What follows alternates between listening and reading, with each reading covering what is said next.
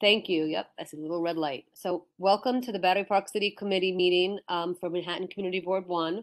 Our December first, our December meeting, bringing the year to a close of 2021. Um, My name is Justine Cuccia, and I'm the chair of this committee. My co-chair is Kathy Gupta. She is not with us today. She's traveling.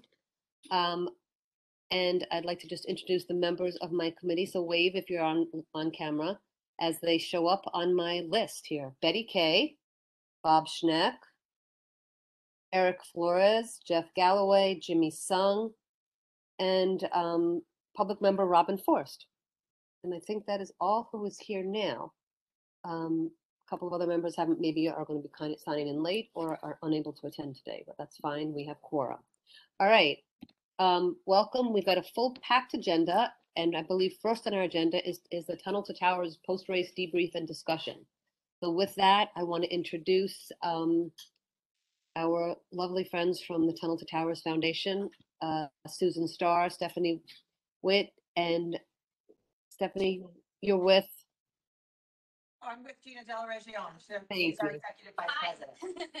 It's There a, you it's, go. tough, Hey, it's a tough name. it's a tough name, so thank you for helping me with it. Gina Dell, it's good. All right, Gina Dell, I like it. I like it. Thank you so much. Um, and Having us. as I just welcome it, um, from my comments of having participated in the race itself and having been involved with um, some of the activities the day before, the day after, um, what a great job as always. So thumbs up again. Thank you for Thank you being so a, a partner as usual. And I um, open it to you to give us what your your experiences were, and then I'll open it up to the community, and then I will open it up to the you know to the board, and then to the community. Sure. Well, first, I just want to thank you so much for your words. They mean the world to us. You have been an amazing partner. Um, you know, this event is the heart and soul of our foundation. Uh, this is retracing Stephen Siller's footsteps from the Brooklyn Battery Tunnel to the World Trade Center. It's how the foundation started. You know, 1,500 people ran that race the first year. 20 years later, you know, you have uh, 35,000 people. It's amazing. It's a beautiful tribute to our military first responders, everyone we lost in 9/11, everyone's still affected by 9/11. Um, just the families, everyone, and it really just, I, I, it doesn't lessen for me, no matter how many times we've done it. It is my favorite weekend of the year. It means everything to me. It means everything to our staff, the Siller family, and it's just a coming together. And there's resiliency and hope and strength. And I, I'm just, I, I can't say enough wonderful things. I thank you that you think it went amazingly. We try. We want to be great partners, great neighbors. We want to, you know, be there to to support and honor our, like I said, our first responders, our military, and, and everyone. And uh, I just want to thank you for that. Uh, Susan, would you like to add anything? You're on mute, Susan. Susan, I think we can't hear you.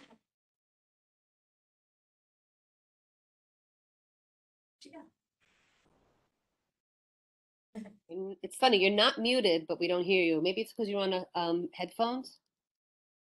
No, but you're not on headphones. I don't know what it means.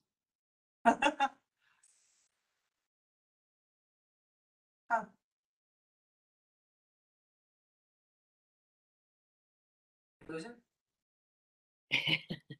Maybe she's saying she sent an e, uh, something in the Uh, chat. Maybe, yeah, let's see, uh, in the chat, let's see. Oh, Boy, All copies. Whilst we're waiting to see if Susan can get in or not get in or speak, um, I just want to say thank you also for recognizing, um, the community. Sorry, my dog's in the background. But it was something that was really important to, to, the- to those of us who lived through 9/11, um, have returned and stayed through 9/11, um, on all sides of, you know, the World Trade Center site. There are people here who are still suffering in a different way, but we're all still suffering in some way or another. And it was really, um, uh, heartwarming to be included into everything because we are really all one family with all this, right? One hundred percent, we couldn't agree more. It's necessary. Yeah, so thank you for that. Um, I don't see anything from Susan. Susan, you can't speak? No? She just texted me. She said, could you hear me? I said, no. Sorry, Susan. I don't try to text during this, but I saw it. when you said- Yeah. So that makes sense. All right. Well, anybody in the community, on, on the community board, have anything they'd like to say or add? Just raise your hand or just unmute and speak. That's fine. Uh, I would just say I think it's a great event. Uh, I unfortunately was out of town that weekend this year, so I couldn't um, observe or participate. But I know it's a great event, um, and it's you know it's it's nice to remember what uh, what happened that day and uh, the bravery of certain people and and how the community and the, and really the whole country came together in a way that uh, seems almost impossible to believe these days. Well said. Thank you so much. Anybody else? Anybody in the attendee list? I don't see any raised hands. Um, uh, to raise your hand, you have to go to the little thing that has a picture of a smiley face where it says reactions. And then you can, um, let me see if I'm lying to you because I'm doing it. Yeah, and then on the top of it, you'll see smiley faces and then says, then you can see a thing that says raise hand. Click that if you want to speak. If I don't see any hands being raised right now, I will, uh, and I don't, I will, um, say thank you. Thank you all for, for coming and, um, we look forward to you all next year. And thank you again for the good works that you're doing because you really are doing good works too. That Keep us up, you know. Within, give us information about how the city in Florida is being, or the city, the town, whatever it is, is being built and what you guys are doing. It's always nice to hear that. Oh, sure, absolutely. So, um, our Let Us Do Good Village, we're actually breaking ground on December eleventh in Pasco Oh, wow. County. Um, an anonymous donor who's been an amazing supporter of ours for years, uh, donated the land. It's about Mhm. seventy-five acres. Um, you know, we've been in the process. We got, we got rezoned and, you know, we're, we're engineering and we're, we're building roads and everything else. We're breaking ground on December eleventh. Um, and it's, it's, it's a village for our program participants that we support. So, uh, s- injured veterans and first responders, Gold Star families, fallen first responder families. And it's going to have a community center and an ADA compliant pool and playgrounds and, you know, everything that you could want and need. And we hope it's a beautiful support system for the families to be together. You know, we've, we've found through the years, you know, we have all these long-time relationships with our program participants. They're part of our family. They come in for our run. They're coming in for the gala on Friday. You know, they're, they're with us all year through and through. And, you know, a lot of them become best friends and they're a support system for each other. We're a support system for them. So, you know, we're hoping to give them that in this community. Um, We're Okay. excited and we're breaking ground on December eleventh. That is so cool. Congratulations and good luck. And um, come back to us with information as to how, you know, how it's doing, how you're going to be picking people to stay, to, to be living there. With 75 acres, I'm assuming they're not apartment buildings. I'm assuming they're houses, right? It's Florida. Uh, We're, planning to do hundred homes. So Wow. Smart homes mixed in with our, uh, our gold, gold star and fallen first responder homes, which, you know, are, are normal sized, you know, fifteen hundred square foot. And then the smart homes are the specially adapted, you know, custom designed homes for the injured veterans and wheelchairs and everything. So That, Yeah. that's wonderful. Thank you so much. thank you so, so much, Justine. It's always great to talk to you all. We really appreciate your support. Thank you so much. Have a great night. Take care. Thank you guys. Bye. Thanks, Have a guys. good holiday. Thank you. Thank you. Yes, you guys too. Thank you. Lucian, will you pull up the agenda?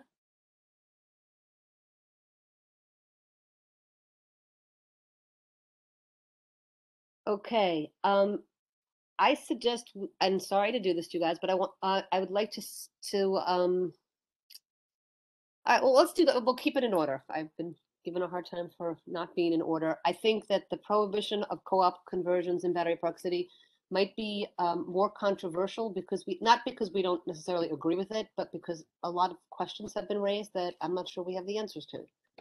But um, that is one thing that uh, we were looking to talk about today. Um, and I had hoped to bring it to resolution. Um, at this point, um, I just would like to kind of give a background and then I will open it up to the community board, my board, and then the public to, to uh, weigh in. So what's going on at this point in time? Um, in Battery Park City, to date, there have only been condominiums, no co-ops.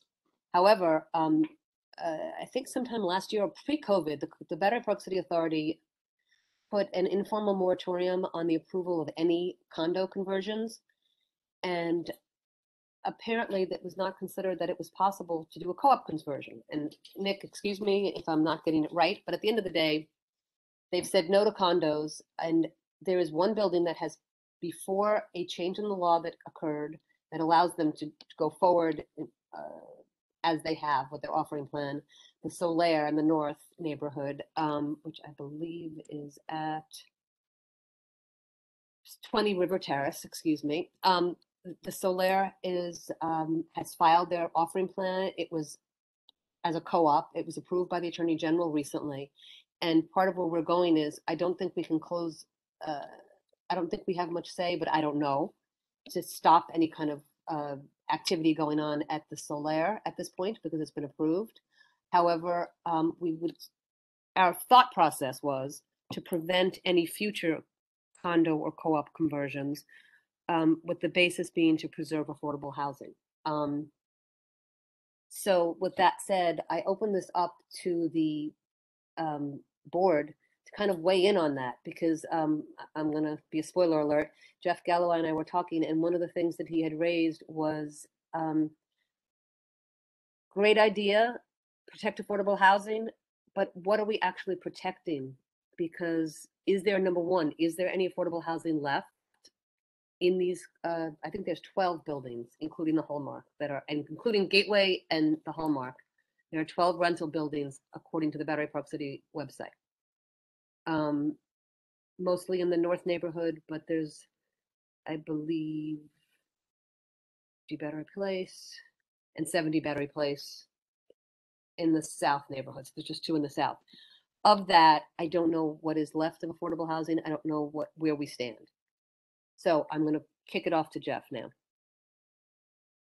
Yeah, I, as Justine says, I, I raised that issue with her. and I think it's sort of a kind of a even broader question of um, do we think uh, apartment ownership is a good, bad, or neutral thing um, to be fostering? Um, and whatever the answer to that question is, do we care between co-ops and condos? Um, if there are protections in one and the co-op conversion is simply an attempt to circumvent protections, then that's something that we should reasonably be concerned about.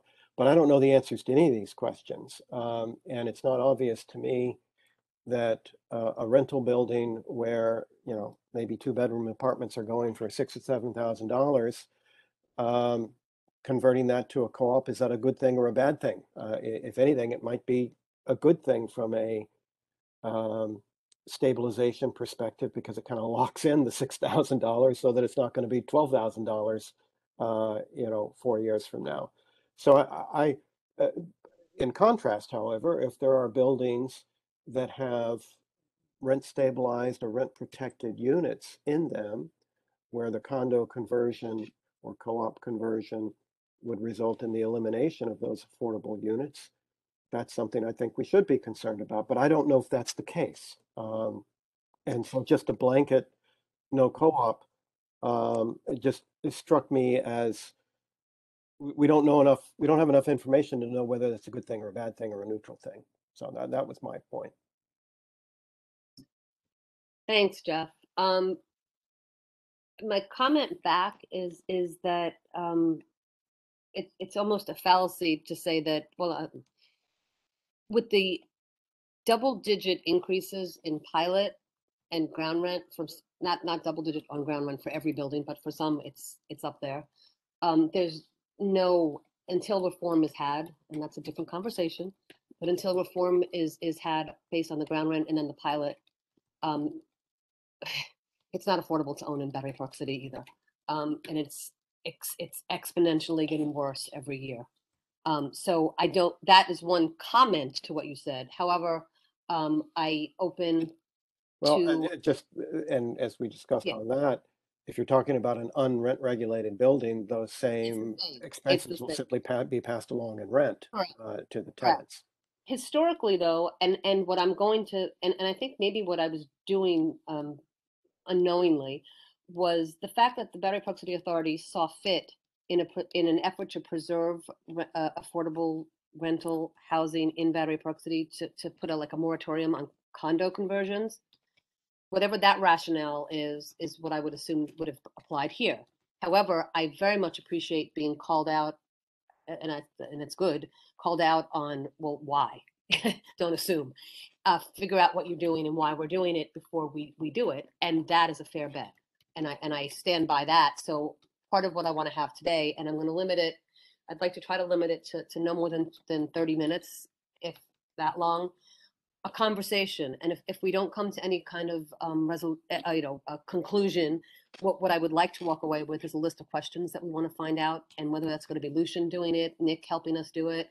Um, anybody wants to volunteer to help get information to figure out the answers to the questions so that we could better and more clearly address this situ, this issue.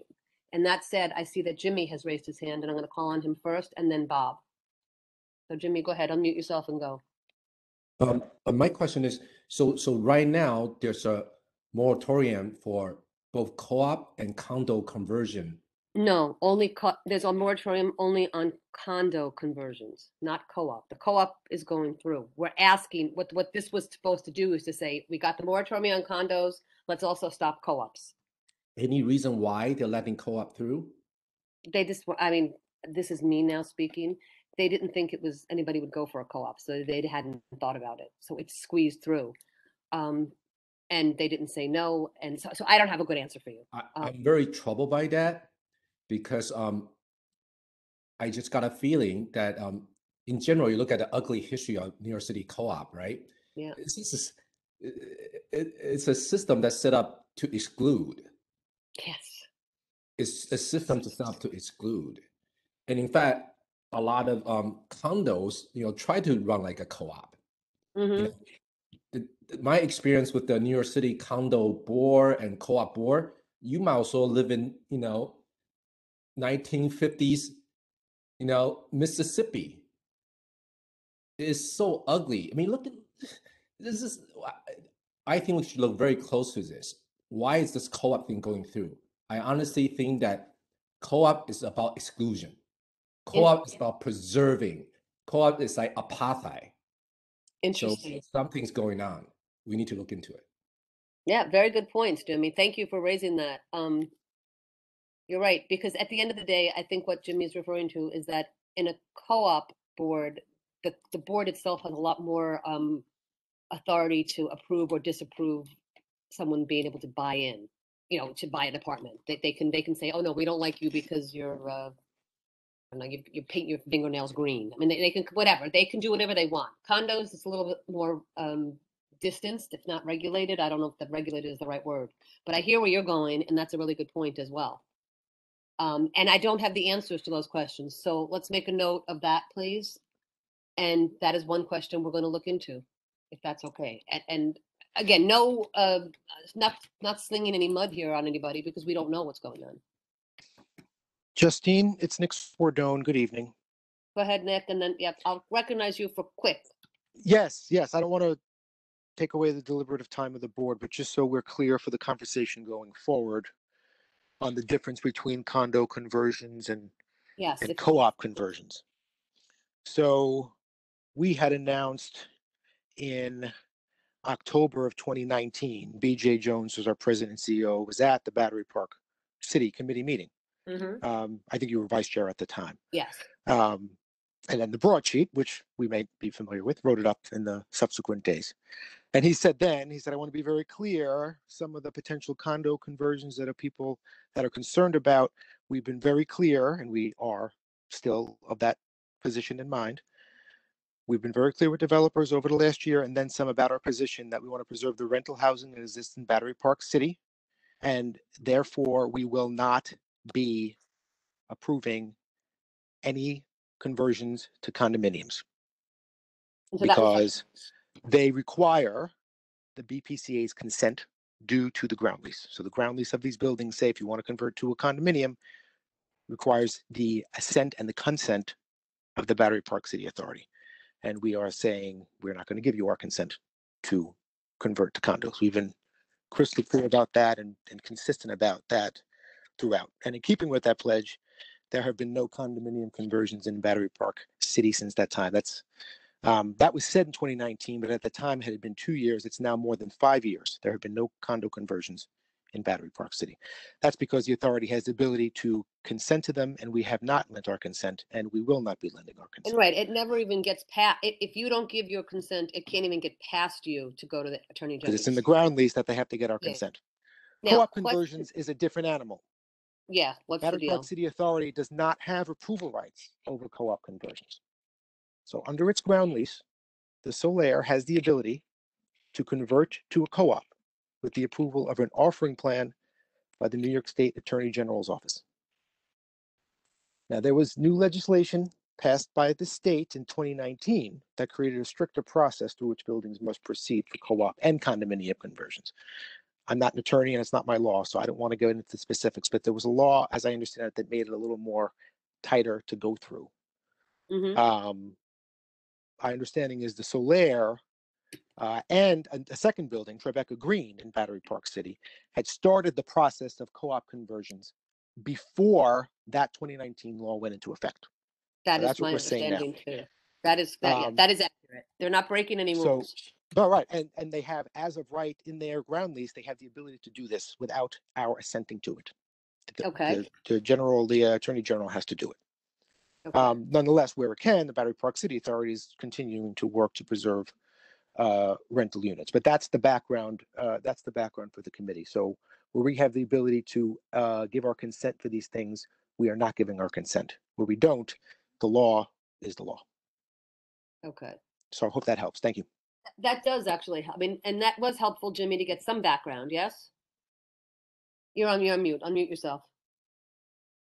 No, you're on mute. You're on mute. Unmute. Um, s- w- why is the why is a why is the co-op allowed and condos not allowed in Battery Park? So what what Nick just said was that and and I don't have what I heard Nick what I heard you say and then maybe you can weigh in a little bit on this.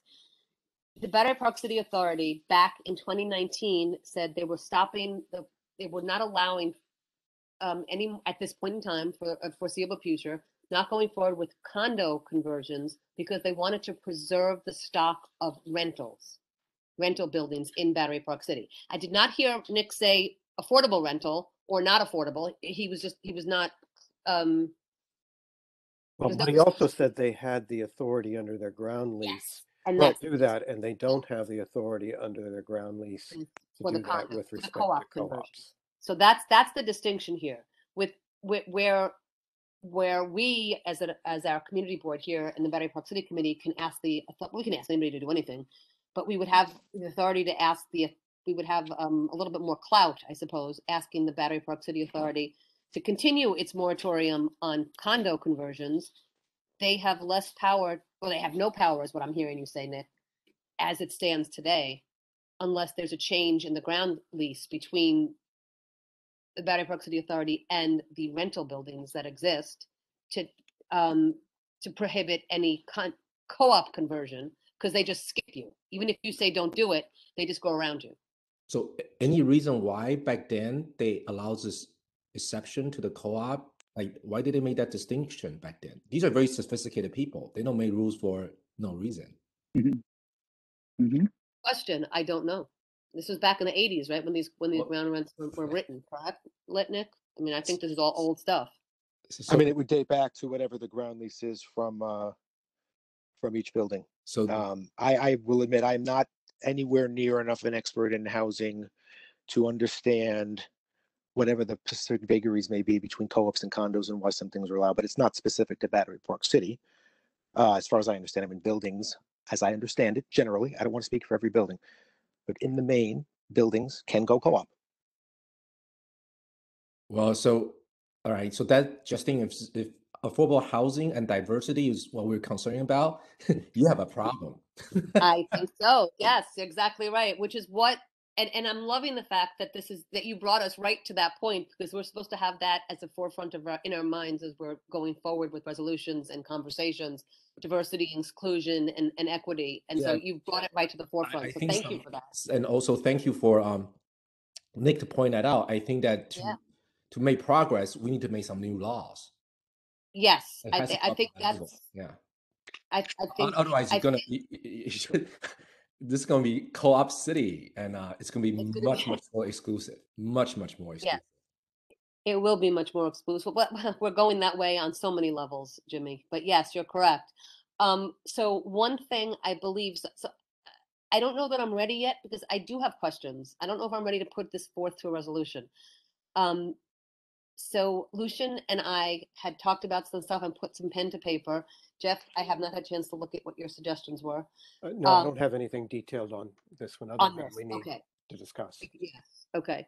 Um, so I, I don't have specifics. I think that in it. So I Justine, are you ask. moving? I'm not gonna call on you. Don't worry, I'm Oh, coming to you. Bob. I'm finishing Okay. my pontification, then I'm calling on you, sorry. Um, but yeah, so in, the in, in the resolution, as I foresee it, is number one, our focus, my focus was diversity, inclusion, and affordability preservation as much as possible in Battery Park City.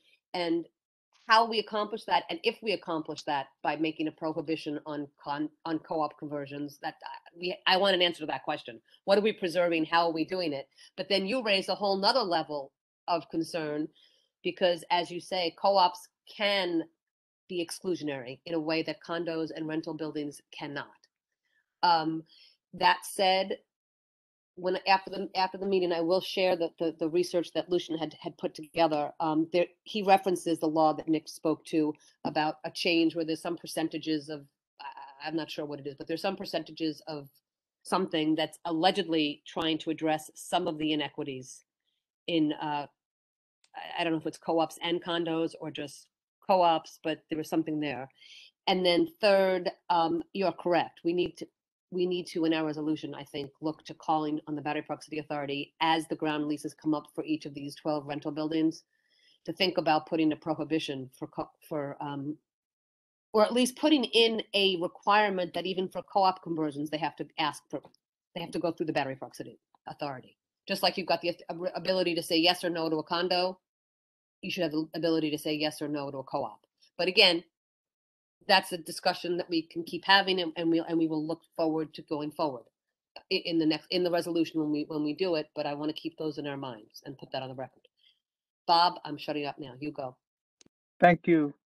Uh, what I wanted to say firstly is I completely agree with Jimmy. I want to applaud that position. I think that it's true uh, that uh, that co-ops are much more difficult to deal with, both from the point of view of someone who's an owner and the point of view of a renter. So I just wanted to comment, uh, just from my point of view, this is the difference between a community board committee and, for example, a legislator, is they actually have a research team. And there's so much of this we don't know. So I just had an experience where I learned that the, the basic cost structure of this community is so high that even if a if a little private owner owns owns it 100% and even if you charge what i would have considered to be uh, almost abusive levels of rent to people it's still it's still both way too expensive for the renters and it's also economically unfeasible unfeasible for the owners so what happens here is a thing that I would like to research is is that tr- is that true that the cost structure for owning property in Battery Park City and the cost structure for renting here is really extraordinarily high. I noticed that um, that Tribeca is the eighth most expensive place to live in the city of New York, and and that Battery Park City, or that they're second and we're eighth. And so being eighth, that might mean that our expenses here, when you add the taxes um, plus the the the the running fees from Battery Park City Authority that we have in the pilot, it could it could be that those are so high that they preclude reasonable rent and they preclude the possibility of affordable housing under any condition without massive subsidies. So what I would like to have happen is to get some research whether or not that principle is right, that we are so high that we can actually in, in a resolution or somewhere begin to ask the question about cost structure. The other thing has to do with the community structure, and that is that we have very ex- a very expensive uh, retail ecosystem and a very expensive restaurant ecosystem. And we don't have any simple, low cost kinds of options here at all. And we'd rather put something like Pick a Bagel out of business for three or four years and have an empty shell than try and have something there that actually serves the community. So another aspect of a possible resolution is restructuring the community in some way that the businesses here actually reflect and address some of the needs. And then that's related to the question, how can we tell what people really want here? So can we have, is there some kind of survey that asks the question, how livable is this for you in terms of, you know, in terms of, you know, the retail situation, in terms of the restaurant situation, are you comfortable here? Can you sustain here? Because some of my very good friends in Battery Park City are leaving Battery Park City because they can't afford the, the, they can't afford to own here, they can't afford to rent here, and they can't afford to live here. So tha- that's a pretty serious condemnation for something that's one of the finest planned communities in the city of New York. So that's my question and comment. No, that's great, Bob. Thank you very much. Um, I would hope that we have people in the community, but I, I'm not knowing that anybody's raising their hand, but people in the attendee section, um, who might want to speak as to what their experience is, if any, as a renter in Battery Park City. Maybe, um, Eric or Jimmy, you can speak to that. I'm not even sure if you could or want to. But I think it is very expensive. I, I think that, you know, one of the biggest battles I feel that is facing us as a Battery Park City Committee is affordability on so many levels. Um, and I do think it's our mantle to pick up and to fight for. Um, but I'd like to hear from Eric. You, you unmuted. Speak. Yeah, um, I actually have a friend uh, who was just told recently that um, his owner, who he's running from, is selling the property, and he has to be out by February first, which is in two months. He has a baby due in June. They have a very nice two bedroom. They pay a lot of money, and they're looking around now for something equal to that. And I attribute it to the COVID because prices were very, very low and now they're very, very high. And Yeah. he's like, I don't know how I'm, I'm going to afford this. I, I've been living here for, I think they've been here for about five, six years now, seven years. And everything is one and a half times what he's looking he, he's paying right now. And same for me. I, I grabbed something right at the end of um, the pandemic, right before it shot up. But if I were to move today, I would have to leave. I just I couldn't afford it. Yeah, I totally get that. Um, yes. Um, and I think this is going to be a recurring theme because um, uh, as the world started to open up after COVID this summer, meeting people um, on the Esplanade, just in different things, whether it was the Esplanade Volleyball Group or um, the 9/11 celebration that Gateway Plaza and the Battery Park City Authority hosted, but meeting new people that were here and had come in and had just moved here, whether it was in Gateway Plaza or renters in different buildings. They were all they all came because the rents were cheaper, and they are all terrified that they're going to have to leave because they've fallen in love with living here, and um, they're they're out, they're priced out, and I find that so I find that unconscionable. Forget that it's sad; it infuriates me because people should leave because they want to, not because they're forced out. I came from Liberty View across uh, literally across the street from where I'm at right now, and they were offering three months for us to stay. Like well, Yeah. three months for uh, for us to stay during like probably the last couple months of the pandemic when we were on shutdown, and now they're far over what I was paying there. They've shot their prices up incredibly high, and uh, to the point where I I love that building. I I didn't really want to leave, but you know, uh, children, I kind of had to, and Yeah. uh, I, I couldn't go back. There's no way for me to go back to to rent the apartment I had already been renting, which they were going to give me three months for. Yes. Yeah, totally get it. Um, because part of the part of the um, uh, any of our legislative officials that are listening to this right now, part of the um, dilemma or the loophole in the law that makes no sense to me is that preferential rent nonsense and being able to say your rent is five thousand dollars a month, but we'll give you three three months off, which means my rent is not five thousand dollars a month. Somebody did the math for me, but it's it's way less. But when you come up for renewal, they're going to charge you that five thousand plus whatever percentage increase they want to charge you. And for you, your pocketbook is saying, wait, that's like a thousand dollars of an increase. Yeah. And and it's perfectly legal. That needs to be changed legislatively. Not not not for our committee, but um Could I make a comment? th- th- Yeah. Following on to Eric?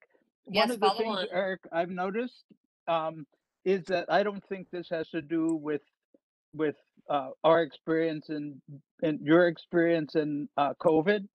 I don't think, I think on looking at the whole city, we're really fortunate. And if you happen to be an owner here or, or like a developer style owner like Milford or something, then they just take absolute advantage because they have the financial means and the kind of positioning to do that.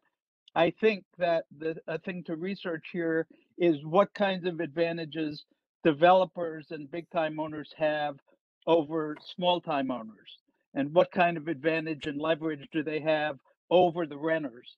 And i think that the the the developers and big time owners in battery park city have incredible advantages here and just can buy it. And that the the thing that i also think you can base the research in is that battery park city was envisioned in the beginning as a gated community. And it was envisioned in such a way as normal people wouldn't even be able there were bridges over between the buildings so that the normal people would be absolutely excluded which is a dream that jimmy's son didn't even have.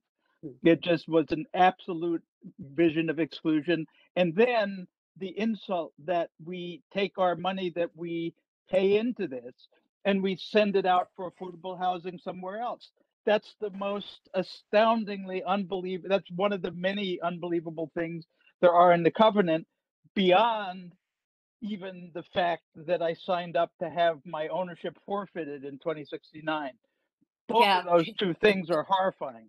And so I think all this needs to kind of come to a head because uh, because World Trade Center 5, the leasehold problem, and this preserving rental problem, all of them are one thing, and that is the rules under which this was all created are so so kind of pointing in directions that aren't logical. Whether they made sense for someone and whether they were there just because someone made a lot of money whatever they are we have to change them now because they don't make any sense in a very general way. So we almost need the equivalent of a battery park city constitutional invent, uh, convention in, in my opinion I love it. I love it. Remember democracy for BPC? It's like it. Jimmy, go ahead. Um, so I- I'll just, you know, definitely need more numbers, but just a snapshot, right? I believe Eric is attorney, correct? Yeah, I'm a, s- I'm a physician. Both of us are worried about paying rent in Battery Park. Just Yes. Imagine, just imagine, I mean, just what's going on here, right? And this is on a piece of government land. This land actually belonged to. the Yeah. I'm not. I'm not like a new attorney. I've been doing No, this but, but let- I'm just telling you, years now. Yeah, yeah, no, no, it, it, Eric, it, it Eric, is. I'm just, Yes. Yeah, do no, you but uh, that's what I'm saying. Like I'm. I'm not a you know how coming ridiculous right out of law school. Yeah, no, no, you are, yes, that, we are going to a place where people who are middle class or upper middle class cannot live here. And that is the crime of, And of- now what happened? This is on a piece of government land, unlike any other part of Manhattan. And now, if these built building turn into co-op, actually, Eric, we should be thankful we're still able to rent right now. yeah, actually, yeah, there you go. But no, I appreciate this. All right. I think that we still, as much as I would love to bring this to a resolution, I think I still want some answers. So I want to bump this to a resolution for January, but I would like us to try to see if we can get some answers to some of these questions. And uh, Betty, you have your hand raised. I, I will say you're the last person to speak on this topic, and please go. Yes, while you're gathering some information, because I agree, this is absolutely not ready to be voted on. Uh, My question is, I remember Matt writing an article years ago But living in the north side, a lot of the buildings that you're talking about going condo, Well, were going condo when I bought. Yes, Uh, It was because of the 2008 financial crisis and the lack of, of to wash my hands. mortgages that they were forced in their minds Mhm. financially to move towards rentals. But they were never intended to be rentals long-term. So I don't know how much we've really No, lost. Just leave it. Not- But back to table the that. article, I want to talk about, they, they were four twenty-one A was the program that was used to create this so-called affordable housing. But in fact, when it was written up, and you can go back to one of Matt's articles in the broadsheet, uh, there were very few units, although the great breaks that they got on their ground leases, they were pushed off on people like me who are struggling after being a physical therapist, to support where they live, who's retired and disabled. I'm subsidizing them, but Yep. then it turns out very few of these subsidized apartments, they got people with high enough rents, they didn't qualify. Those that Yep. did qualify were getting five dollars a month break on their rents. So I don't want to sound too heroic with this affordable housing being saved, mm. because in fact, they're putting a huge crunch on other people by taking a big feedback on the ground rent from the authority that then gets pushed off onto the other buildings to give very small, it's, it's the developers that are winning and the building owners. thank you. That is exactly right, Betty. And I think part of the deal with it needs to be, as we're looking at this in a holistic approach, is to, oh gosh, am I socialist? What are the is numbers? to curtail, the- yeah, is to curtail the, um, if the landlord gets a break on the ground rent, that has to get passed on to all the renters, not just some, because you're right. The people who are paying market price are subsidizing the people who are paying or getting a subsidy to some degree, however it's worked out. And that's not supposed to be the case. The subsidy for the people who are not paying market value, market rate was supposed to be the tax break. And that's not what happened. Well, th- that isn't exactly my point, because I think the whole model in New York City is those who have subsidize the others. And it's difficult in Battery Park City because it's neighbor against neighbor. Uh, you know, if someone subsidized, it's like, I'm paying more to- so that you can pay less. Uh, And then I find out they did the same thing I did for a living, and it's like, really, But that's choices of living. But what I was saying is that the, the amount of money that they're getting as a break from the authority, that should be justified as being passed on. Correct. That's what I mean. Yeah, I agree with you. Not necessarily to everybody, but, but passed on to building occupants. Agree, yes, passed on to the building occupants. I agree with you one hundred percent. That was what's supposed to was happening with Gateway Plaza, right? And it's gotten whittled down and whittled down and whittled down, but let's not go there. But that, that was part of the deal. They got, for lesser ground rent, they were giving stabilization. And then that got whittled smaller, smaller, smaller, the group. But, um, but yes, those, those are contract negotiations, and I think that, that we do need to get involved and we need to be more, more proactive, and I think it does matter. Um, I want to move on because we've other things to talk about, and we're going to talk about this again. Jimmy, if you have, do you have something to say about this? Your hand is raised. You're good or no? Okay, you're good. All right. So I would like to close this part down. I don't see anybody in the attendee list saying anything at this moment in time. Um, what I would like to do, sorry, I've got noise in the background. What I would like to do is at this point in time, um, I've lost my train of thought, so I'm going to forget that and come to it. So the next um, topic, which is request for legislation to create a major- resident majority on the Battery Park City Authority Board of Directors. So, um, Betty, your hand is raised. I don't know if it's still raised, but you can like lower it and raise it again if you want to get called on this time around. Um, on this solution, can you pull up the resolution that we kind of put together and then I'll give people a chance as I'm kind of saying why I think this is important, give people a chance to look at it and give the, the, the committee and the people in the in the in the uh Absolutely. And and also I just also want to say that um, CB1 is now posting draft resolutions uh, on two different websites. Uh, one is if you go to our main page and click on uh, meetings where we post our uh, full agendas, there's a link to draft resolutions. And then also on the live meetings portal, um, just under like the name of the committee, there's another link to draft resolutions. So for those of you uh, joining us at home. If you uh, if you you know can't read what I have on my screen share, um, maybe that will be easier. It's a PDF. You can download it, uh, print it, whatever you'd like to do. Um, but the, the the guidance we've gotten now is um, we any draft resolution that we have, uh, to the extent practicable, we'll try to get up um, as early as 20 or 48 hours before the meeting if we if we have it available. Um, so you should always check that link to see if there's any resolutions that are teed up for a vote uh, that have been pre-written for a meeting. So with that, I will. Okay, as as people are looking at this, um, so kind of information I want to throw out there is there's a precedent of a similarly situated community, which is Roosevelt Island, where they're governed by a board comprised exclusively of residents of Roosevelt Island. Um, and denying us the same benefit is not it's not fair, it's arbitrary and capricious. I, I know people will say Roosevelt Island is different. We are a cash cow and we generate income for the city. Um, Roosevelt Island does not. But that should not alone be a reason not to allow us to be self-governing. To some degree, at least have a majority, not not 100%. Um, so I think that's number one. Number two, um, I think it is really important that we have a diverse and economically diverse as well as racially diverse as possible um, representation on the board of the Battery Park City Authority. Um, it, it's it is important to have people who actually know Battery Park City, live in Battery Park City, work in Battery Park City, represent us.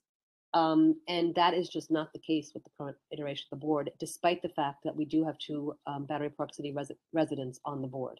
I do not believe, I don't know for a fact, but I do mm. not believe that either one of those folks would call Battery Park City their primary residence.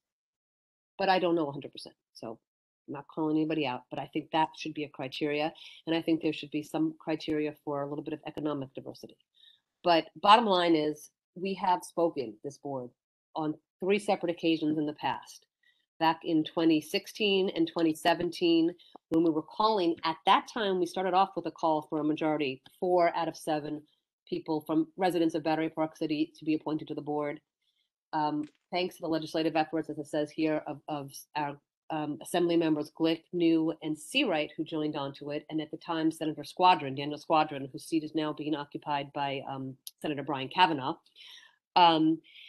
The bills were sponsored, and it ended up coming down that what passed both the Assembly and the Senate of New York State was that two members of the seven-member board be residents of Battery Park City. So that was a win. It was not everything, but it was a win, and we were happy, and it lasted from 2017 until 2021. And now, um, I think kind of what kind of woke us up a little bit, woke me up a little bit, is the fact of George, kind of the, I will say, the events of this summer with the with the um, memorial and the frustration. And I am grateful and thank thankful to George Tsunis for being able to stop the governor from forcing the um, monument the essential workers down our throats and saving the, the green space in Rockefeller Park and creating a committee. However, um, the fact that it was even on the table was outrageous. And, um, you know, that's one small piece of uh, issue that the, authority was facing. And um, I don't know that a resident majority would, would have changed that situation. I don't know that it would or wouldn't have, but um, I don't think we would have had to have people sleeping on the grass to get people's attention because I think if people who actually lived here would be speaking up loudly and vociferously, um, and I, you know, whatever. I, I certainly don't think anybody on the board was happy with that, and I think it was shoved down their throats. Um, so I'm thankful it was moved on. But with George Tsunis being tapped on the shoulder for um, a possible ambassadorship to Greece, we will have at least one opening. And I think the time is ripe for us to weigh in and say, number one, we want re- more residents, we want more representation from Battery Park City to be appointed. And in keeping with um, kind of the thought process that Jimmy raised, but it's always near and dear in my heart, um, I think there needs to be income diversity. And I will go to my little cute little chart, which anybody can see, but going to the 2021 uh, you know, can my income of- qualify me for affordable housing? They do an area median income chart. And uh, it is considered middle income in New York City, of which New York uh, of which um, Battery Park City is a part, um, for between 121% and 165% of area median income. That was my suggestion. Um, I'm open to different suggestions if that you think that number needs to be higher because that number is for one person up to a uh, $138,000 a year income, two people 158,000, three people 177,000, four people 196,000 as annual income. If that is not if that makes the pool too small, which I don't think it does, based on my reading of the census report of 2019 of the people who live in Battery Park City, which stated that 54%, I believe, of the people who live here, at least 54%, um, make under $150,000 a year. But I would don't, don't that is not a quotable fact. I want to have it on the charts and we can pull them up and look at them together and make sure that I'm getting that specifically accurate. But there is a number of people who would fall into that category, of which, as you know, um, Eric and Jimmy noted, you've got lawyers in this community, you've got doctors in this community, you've got uh, accountants, you've got real estate people, you've got a lot of people with a lot of education, a lot of information, and you've also have people who've lived here for a very long time. I think at least one member of the board of, of the Battery Park City Board needs to be somebody who is primary residence is in Battery Park City, and another member at least needs to be someone below 165% of the AMI. I open this up for discussion and um, tweaks or whatever else to the um, resolution as written, but let's move forward with it. Raise your hand or just unmute yourself. I see no one's hands raised, so. Okay, I see Jimmy raising his hand. Go ahead, Jimmy, you speak. Anybody else want to speak? And I'm sure Jeff Galloway, you're going to want to say something because I know you have, I, I couldn't read your email yet, but um, I, I know you have something to say, so that's totally fair. Uh, Jimmy, you first and then Jeff. Uh, you have to unmute yourself, Jimmy. Sorry. Um, Justine, you brought up a really good point. Like what really um got me um understand what's going on was actually the memorial situation. It just now you see the problem of basically living in a colony, right? Yes. You have a governor that's appointed by the king, and, and the people actually, and then with a problem, you become very, very quickly become a very confrontational situation. Mhm. And if there's anything good about democracy, it's representation, and that will that is very, very important to keep really, you know, peace. right? So I think this, this is very important. This resolution is very, very important. We need to make sure there's enough economic and um even economic, social diversity in this um in this board. Thank you. I, I agree with you 100%, clearly. Jeff and then Betty? Um, I, I, think that, I, I, I- I basically support, uh, the resolution. I do have a, uh, a, a tweak or two. Um, um, well, why don't I just get into the tweaks, because I think Yeah, we'll end up covering my, um, uh, substantive points. Uh, One, one is, in, in the whereas, it says lessons learned. Let's see, what is that? Um, Mm. uh, oh yeah, bottom whereas there. Um, uh, uh, yes. Uh, lessons learned from the 2017 law are that there's a clear need for income diversity. I, I think income diversity and primary residency are certainly worthy objectives, but I don't see how in the world those are lessons learned from the 2017 uh, law, uh, i- i- unless what you mean to do is criticize the two residents uh, who are on the board, which I'm not sure, even if we wanted to criticize, would be a very politic thing to do in a resolution that we're actually trying to get some action from. Yeah, Um, that, that's so, fair. so I would suggest not describing that as a lesson learned, but saying that, that the, you know, the, uh, uh, you know, proper, uh, w- and then we get to the other tweak, which is really a conceptual point, which I think. Wait, before you go to the next week, I am fine with just saying, um, there are, there is a clear need. Today, there is a clear need, um, or, Well, uh, why don't you hear my next second point? Okay. Because I think the second point relates to this. And that is what we really want is not necessarily residents. What we want, although we may need to have residents to get what we want, Hmm. But um, what we really want are board members who will engage with the community and not just view themselves uh, as uh, bean counters to make sure that the taxpayers of the state of New York get the largest return uh, from their investment here and who don't even know that children play on a lawn in Rockefeller Park until parents are out there sleeping in front of um, uh, bulldozers that, that's about to tear the place up. And sort of the assumption we're making in having residents is that residents are more likely um, to engage with the community than non-residents. Um, so I, I think there should be a whereas that basically says that it's, you know, that, that, that board members should not mute, should not um, be appointed or view their, their, their jobs as purely uh, stewards of the New York State budget, uh, but uh, also appreciate uh, and view as part of their mandate um, uh, the, the community itself, which by the way, I think the management of Battery Park City Authority does a good job of. But, but we're asking for the board uh, membership to be selected as, as that's one of the criteria. And, and, and having someone who's a primary residence here as well as some income diversity, I think makes it more likely that those who are chosen for the board uh, will be um, more engaged with the community than, than, you know, someone who's rewarded for good political service um, uh, with, with, with an appointment like this. It's not like being the ambassador to some country Yes. one Great. could, one, well, well, I mean, I don't want to pick on poor Mr. Tsunis, who, who acquitted himself, I think, quite well in the end on, on, Yes. on all of this and on a number of other issues in, in the community. But whether it's Greece or any other country, I mean, the fact of the matter is lots of ambassadors are purely political appointments. And, you know, maybe that's just the name of the game, but the, the, the board membership of something like Battery Park City Authority shouldn't simply be a political reward.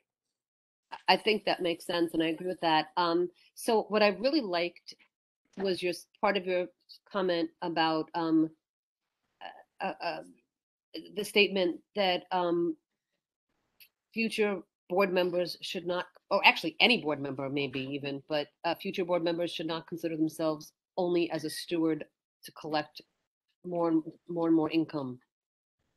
I, I would have to listen to the tape to hear what you said, but I liked that a lot. Um, and I don't know that. I do think that people who actually have this as a primary residence, it would accomplish that. But but I think that there also needs to be a clear um, message given now that the Battery Park City has been built out and its and its maintenance and preservation of a community.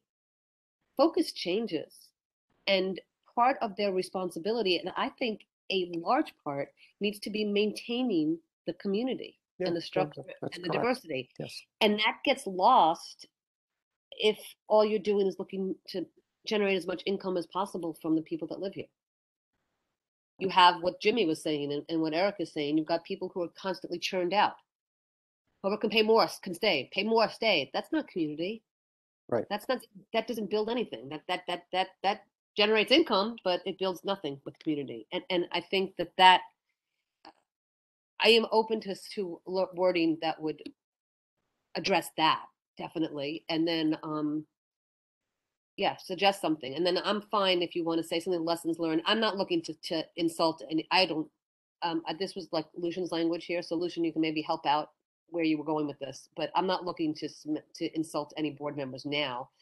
I, I think that the lessons learned to me are that there has been a lack of focus on income diversity and affordability, and the lessons learned is that two are not enough. That's the lesson that I learned. Or that's that's what I hear. Two two representatives are not enough, and in fact, it's not just people who call who own who own property in Battery Park City who can be um, stewards of this neighborhood. Um, it Justine, can I jump in? yes, you may go ahead. Oh, actually, um, yes, go ahead, Rob, and then Betty, if that's okay, because you haven't spoken yet. Um, I, I just wanted to uh, add something to what Jeff said and um, maybe expand a little bit on what you said. Um, in terms of uh, expanding the bat, the, the board to encompass a larger percentage of residents. I couldn't agree more. But I think one of the things in terms of diversity is that we also need to blend the board to have both owners and renters. And I think that that's something that has been lacking. And certainly the people on the board who live in Battery Park City represent a certain constituency. And, you know, when we talk about economic diversity, we also need to talk about ownership versus, you know, long-term residency. People like Jeff and me Correct. been here, you know, 30 plus years I think rent. scroll down. I think does it, Lucian? Don't, don't we say that as well? you did. I didn't see it. No, you can, and it's not showing on the screen now. I believe we asked for that. Okay, um, good. Positive. If not, that was something that I wanted to ask. Yeah, for, okay. Because I agree with you. It needs, it should be really one, uh, one resident, uh, one owner and one renter who then fits into this, you know, and then. I mean, if, if in fact there are not going to be any more condo conversions, we'll see, Mhm. or uh, co-op conversions, then I think the distribution or the mixture of the board Should be proportionate to the rental versus ownership uh, distribution within Battery Park City. But that's me. I, okay, so Jeff and, and Robin, if you can put together something as a whereas, because I'd like to vote on this and get this done. But Betty, you're next. And, and give me some language that make, and then we can vote on the language, because I'm open to that suggestion. Betty, go ahead. Yeah, actually, I, I have a different point of view, so I want to bring it up. I have lived next door to elected officials. That doesn't mean that they represent me any better than somebody who lives in another community in my same district. So I am not tied so much to this. If somebody lives here and has lived here for 30, 40 years, they're going to reflect what I, about every Battery Park City resident wants more than somebody else. I, I don't buy that at all. But second of all, my concern is more, do they have the governor's ear? Do they go out and, as Jeff said, get involved in the community and know what the issues are and kind of how people feel? Uh, Somebody who sits around their house or second home or third home is just as disengaged, whether you consider them a resident or not. And I see no evidence whatsoever that Roosevelt Island is better off because they have all residents on their board. I mean, what do they have that we don't have? So Control. control over what and what has it done for them? I, I'm more into outcomes than I am into symbols that may mean nothing. So, given they're still appointed people, I'd rather, one, they have the skill set to deal with the problems and to initiate issues. uh, Because that's really what their job is. I also would like them to be able to care enough about the community, they get to know a diversity of the people that live in the community and know the issues. Uh, that's a lot to ask. But nevertheless, to me, those are the things that are important, not how long an individual is and reflecting their personal beliefs. And some of it is we can't blame the board for members of the community not going to their meetings and speaking up. How about blaming the board for not coming to the community's meetings and not, not showing up? They live here. It's on Zoom. Why aren't they not here? I mean, Nick comes and, and thank, thankfully Nick comes and he reports back, I'm certain. But that's not the same as having a board member show up. But my, my but my I guess my answer to you is yes, what you say makes that that all makes sense, but none of that's being done by this current iteration of the board. We, Right, we it's also not what you're asking for either. That's my whole point, so thanks. Okay, no, thank you. Um, I don't know if I agree with you at- fully, but um, all right, so Jimmy and then Bob. But thank you, Betty, for sharing. Uh, my question is, how is the board being um, composed right now? Is it all picked by the governor? Is that how it works? Always, yes, that is how it's that is how it has always worked. And there's seven people now, of which two ostensibly live in Battery Park City, Martha Gallo and um, Anthony Kendall, I believe. Martha is a longtime resident who's lived here for a very long time in the South neighborhood, but I do not believe Right. So essentially, um, un- unless we change the law that governs the the the Yes. the board, is it, we're actually basically just begging the governor, right? So I think that also this is kind of like a love letter to the governor. So we should just you know let them know that what we prefer, right? And it's a general trend. I mean, in the corporate world, more and more they realize how important the board is, right? So they're trying to make the board more diverse, more involved. So it's not just a, a private club of the um of buddies. Um, and um, so actually, you know, the board's job is really just like a corporate board. They're there to make sure that everything are done right, right? So, so what we're doing is we're not asking any different from um, what's going on all around America right now. Is to make sure that um, that there's that the board becoming more engaged and more um, interested in the community, and also um, um, you know, more reflective of you know what's going on. So I, I think that we just actually the government should just do the right thing instead of having this kind of closed door private club situation where you know board members are kind of disengaged. They should, if they're truly put the interest of the state's assets, then this should be a diverse board. Period. Agree. Um, do you, are you okay with the language that's here? Do you think it should be stronger if you I, have? I, I don't have enough experience drafting these um resolutions, so I'll leave that to you know the more experienced members and uh, Lucian. Um, because what, what it says here is we're asking the governor Hochul and whoever comes after her to electively create, to, to electively create a residential majority, which I think, Lucian, you're trying to say that when you say electively create, I don't know what that word means. Do you mean you're, you're saying we have an election to create them instead versus No, appointment? t- uh, Instead of being bound by law to fill uh, open spots with residents Ah, the in elect, 27 yeah. to choose to do so without having without being forced to by law. Until such legislation is passed, but we want the law to Mhm. pass. Um, That's right. I, I hear what you're saying. Um, okay. Oh. I, I think I'm okay with this language here. Um, yeah, I mean, okay. I'm gonna go to Bob. I'm thinking about it, and Judith, then you're next. I'm thinking about how to to add something if necessary, Jimmy. I, I'm thinking. Go ahead, Bob.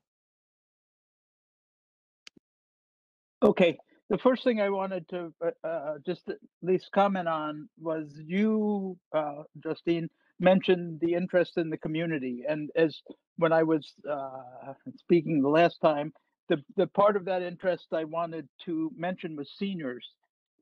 And that one of the one of the constituencies that we should try and help and protect is NORCs, as as naturally occurring retirement communities. And I think it's so sad for me to have some of my very good friends priced out of living here. And on the other hand, when we kind of look at the Taylor age people, to look at the young people who are also priced out of out of living here. Which so in terms of the community, I think um, in in terms of the in terms of the community, I think we should at least add uh, the older people and the younger people as two constituencies that are important to look at. The next thing I wanted to comment on is Roosevelt Island and results. Uh, I was shopping around the city a little bit and I got to see in Roosevelt Island that it's easily a third less expensive to live there. And the amenities for actual people are terrific everywhere. And the thing and things are so much more affordable if it were attached. uh, It's just a miracle if you're really stuck and looking for a place to live. I would suggest my best friend go up up there because they can get the most value per square foot that they can in this in in anything related to Manhattan. So I think the uh, and I actually know the um, the chair of the Roosevelt Island committee uh, at Roosevelt Island that they're just kind of like Justina's Battery Park City Committee, and they really are devoted to residents and affordability. And they've been that way for years and years, and that really matters. So if we want to do research on this, we can easily prove uh, that they live well for less. Uh, that's the point I'd make there. The next thing is in terms of what I'll call, uh, I think it's really, I think that on some level, one of the most creative possible jobs is to be in politics and to have the political job of being a council member, a senator, or whatever, because it's absolutely creative. no one has made a job description for you, and you can go out there. And if I were the most creative uh, person, I could really do things like maybe uh, Moynihan did, for example. I could be that creative that I could really affect the community in some really profound way.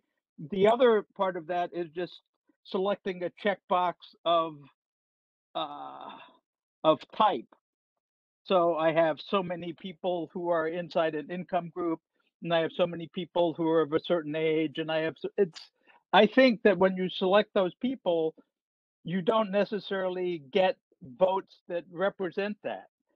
And and what I've noticed is that people who represent a certain class going into these things, within the first week after they're elected, they've been attached, they've been approached by all the lobbyists, etc., and they quickly change their tune. Very rarely do they hold to the same kind of position that you'd imagine if Jimmy Stewart got the job in the beginning. So uh, I'm not sure that I believe in the checkbox, and I'm not sure. I am sure, on the other hand, that as a as a board member on the Battery Park City Committee, I have a certain responsibility to represent the community.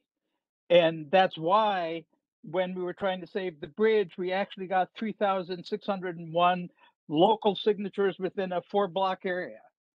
And that, of course, didn't matter or impress anybody, but by God, it was, Oh, it it was was about local representation.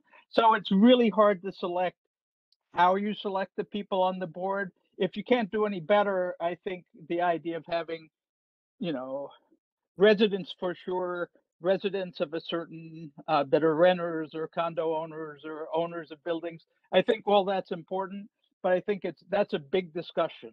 Or that you select it because you would select Justine because she's a lawyer, she's extremely creative, she's really energetic, she's really an activist. So you chose choose someone like that because she's ener- she's got the the local the personal pizzazz to do the job brilliantly.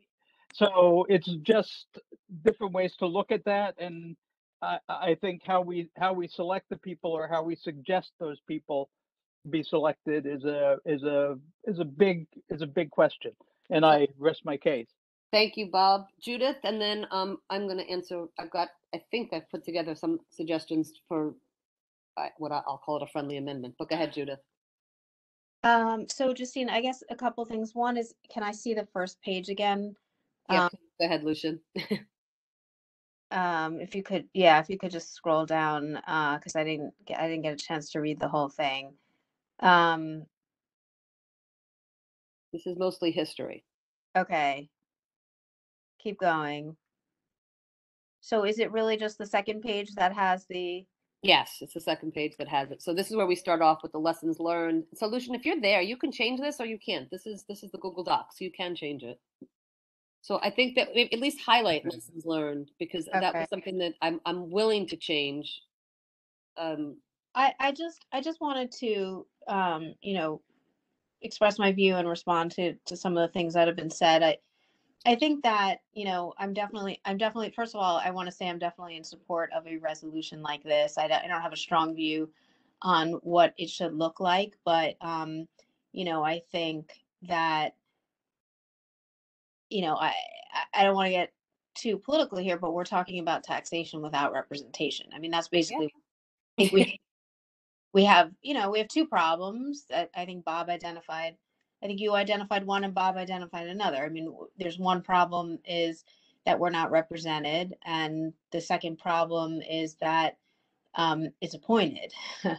and I think you know, an election might be more appropriate, but we can we can save that we can save that discussion for another day.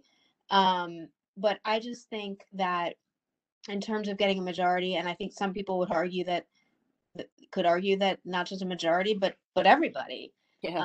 on the board. So I, I, I think I think getting two people on the board as as happened a few years ago is sort of a small victory.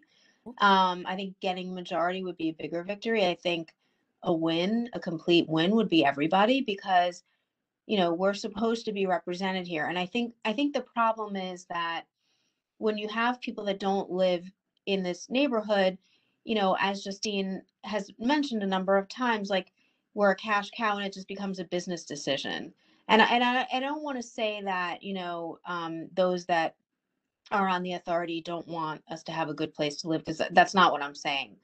But I'm just saying that, um, you know, it, it may be operated more of a business um, and, and less of a neighbor as a neighborhood of where, where people live. And I think um, a, a number of areas, um, ways in which we're affected by this have been identified and at this meeting already.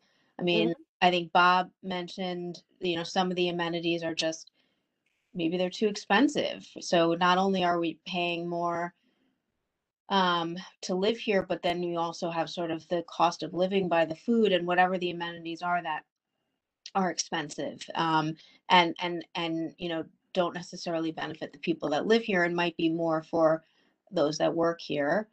Um, I mean, I think, you know, we've talked about the ground rents a lot. We're negotiating, we're essentially negotiating with people that don't live in Battery Park City. So, I mean, I think that's that's kind of a problem.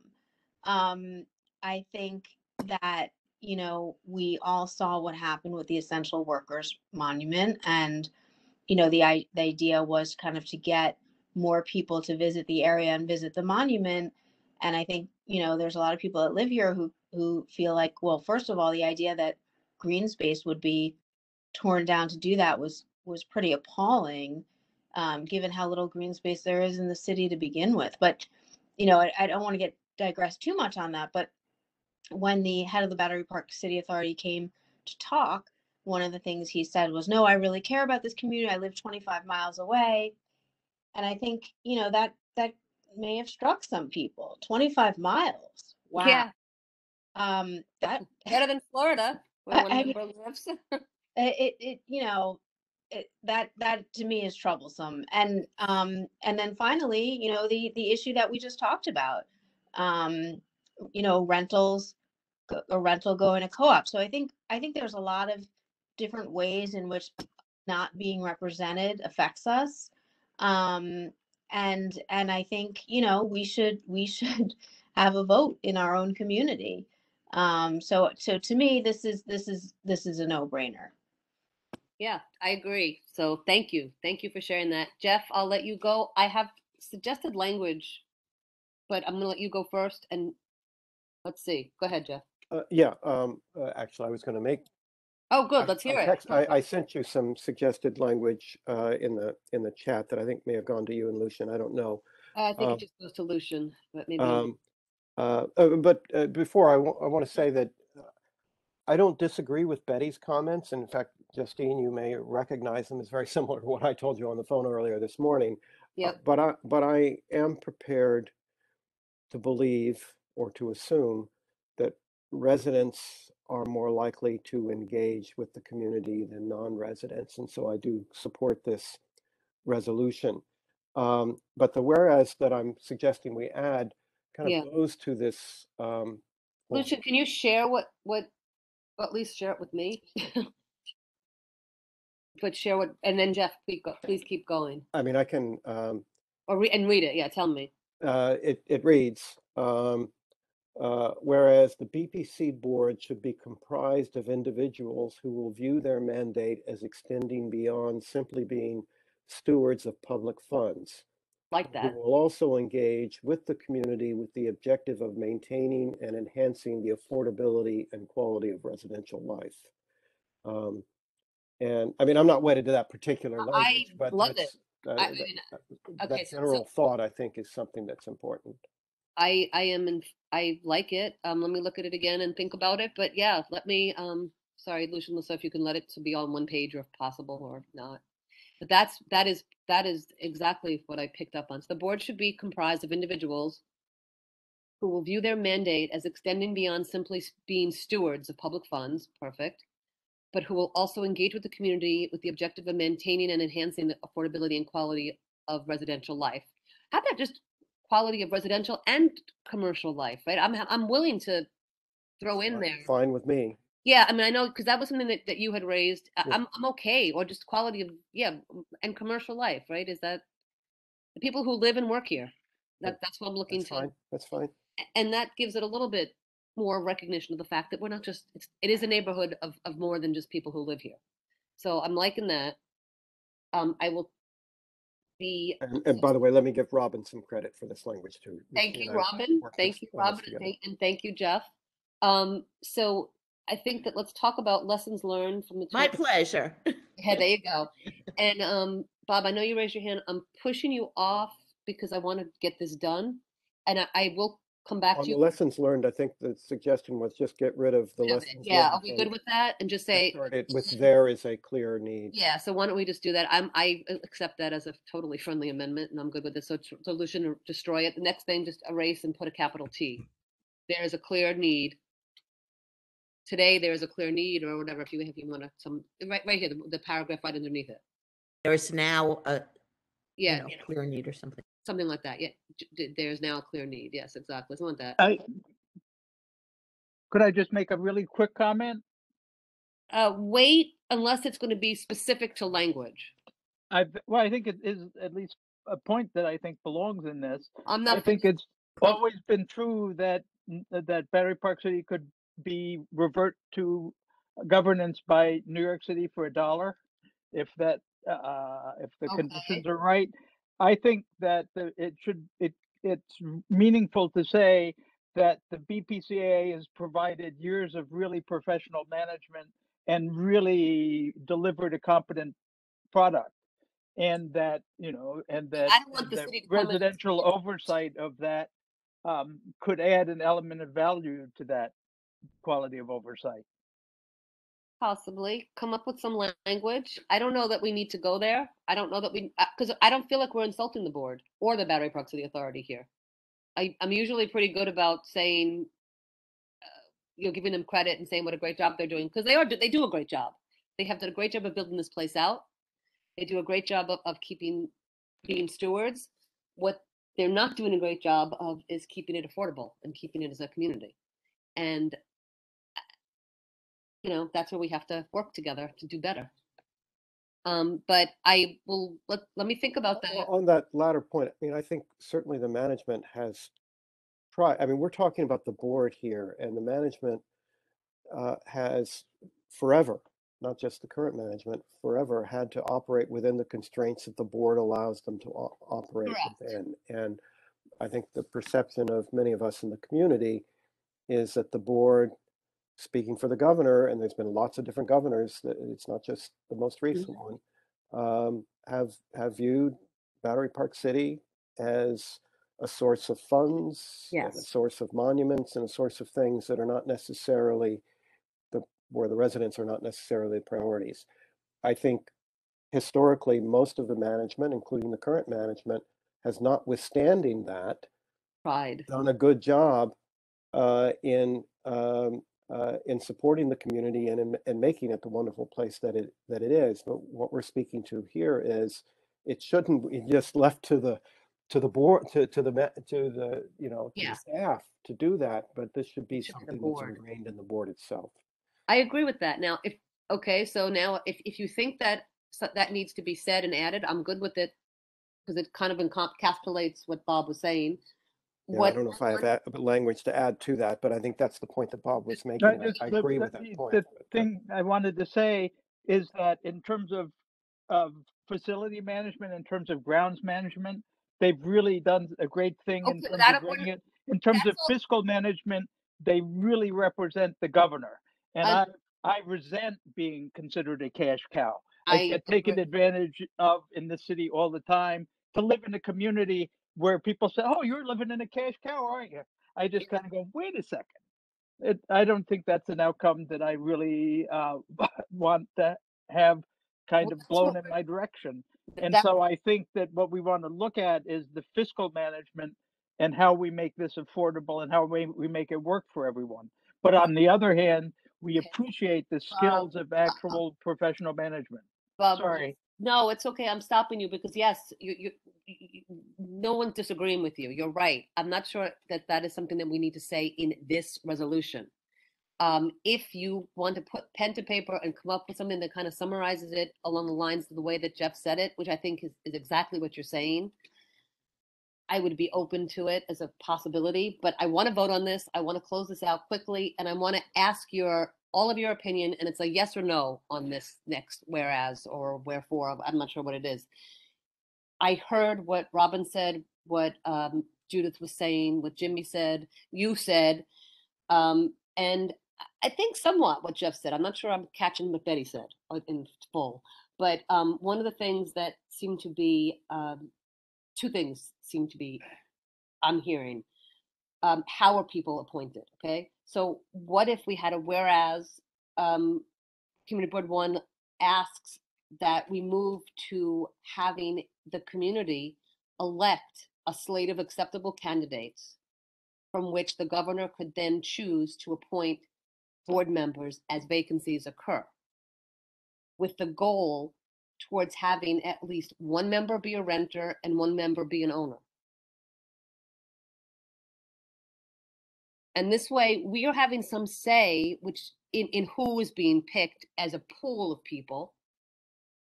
But the governor has final choice because it should be the governor who's having final choice because I'm I'm okay with that, and that and that's not taking power away, but it is saying, hey, these are the residents and these are the people that we're looking for in any way, shape, or form. But uh, beyond wordsmithing it, either yes or no right now, because we could always come back and revisit it.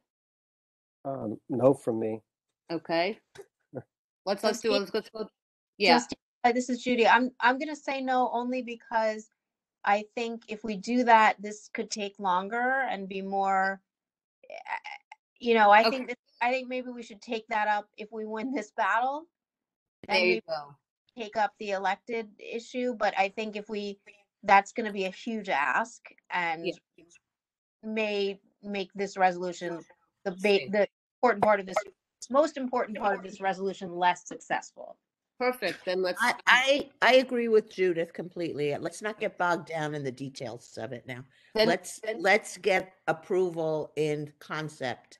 Okay, so are we good with this then? Can we call the question with the changes that, that uh, Jeff added, Jeff and Robin's language?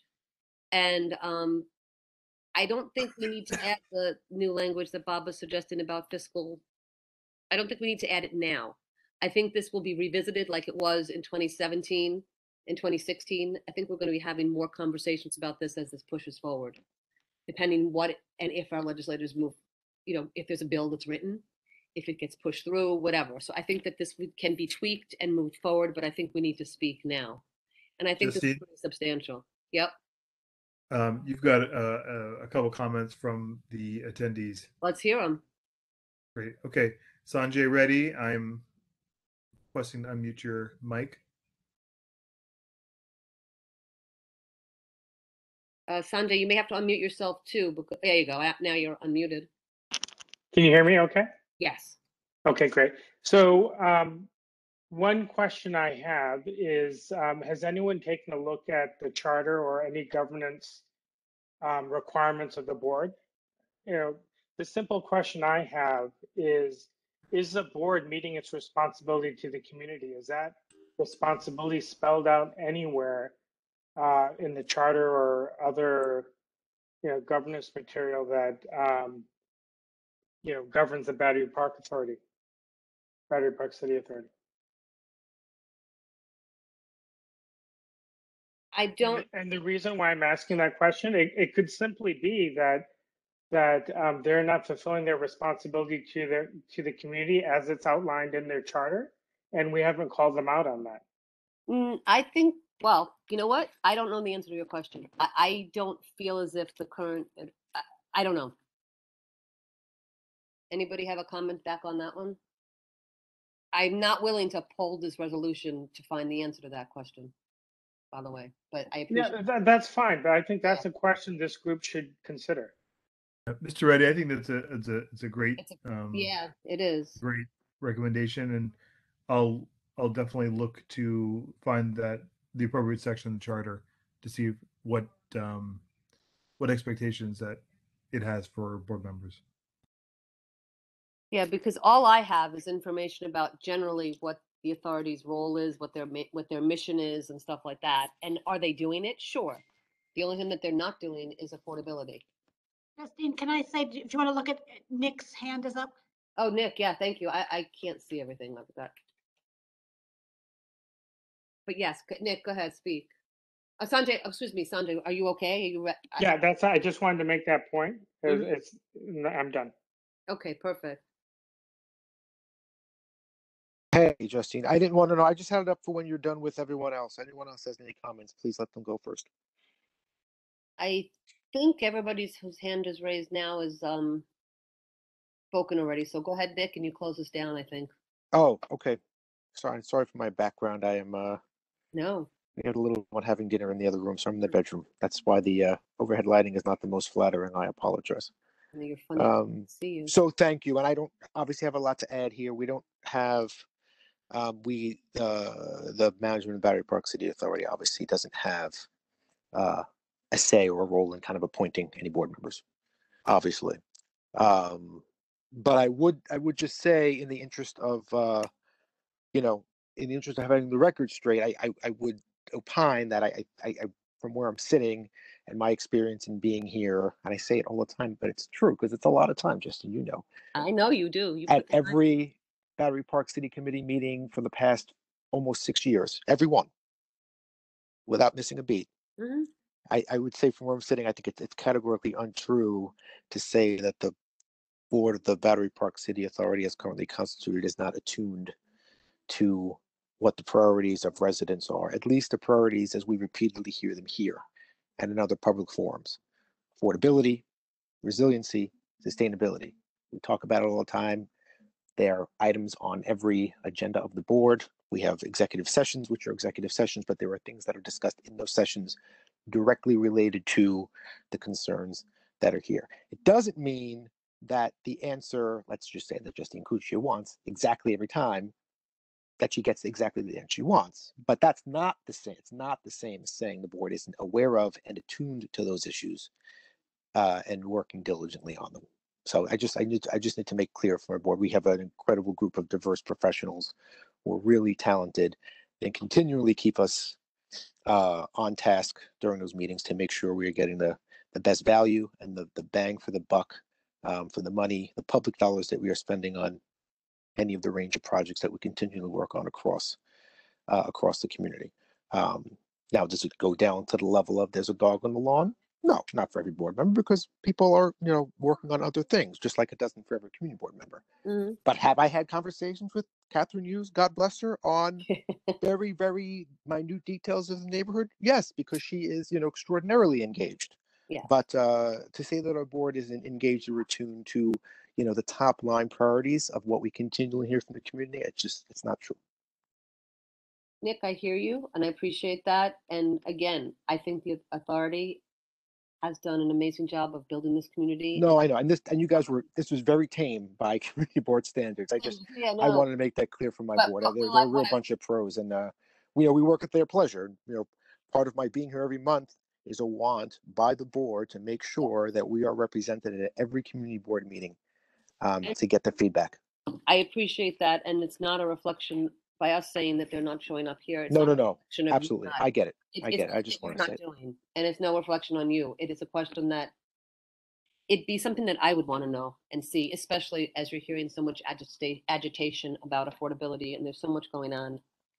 I- Yeah, no, it's fair. You guys should absolutely advocate for the things that you want to see. I just wanted to make sure that I got that on the record. That's totally. So fine. thank you. So- Thank you for the And time. also, the resolution does not contain criticism.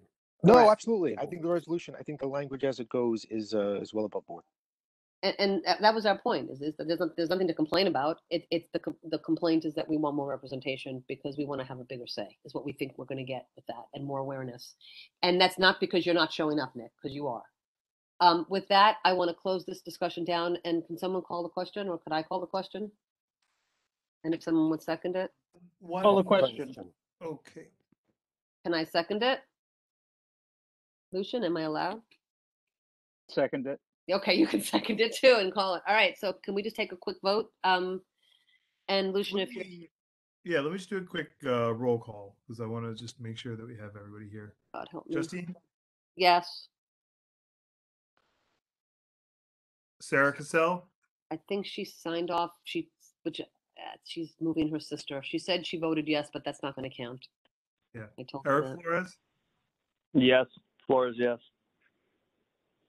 Galloway, Galloway, yes. Kay, Kay abstain. Schneck, Yes. Sung, Yes. Weinstock,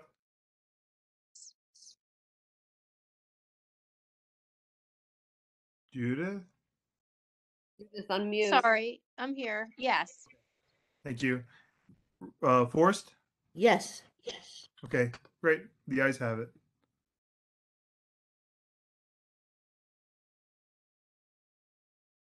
Thank you, everyone. I thought that was a really good discussion. Just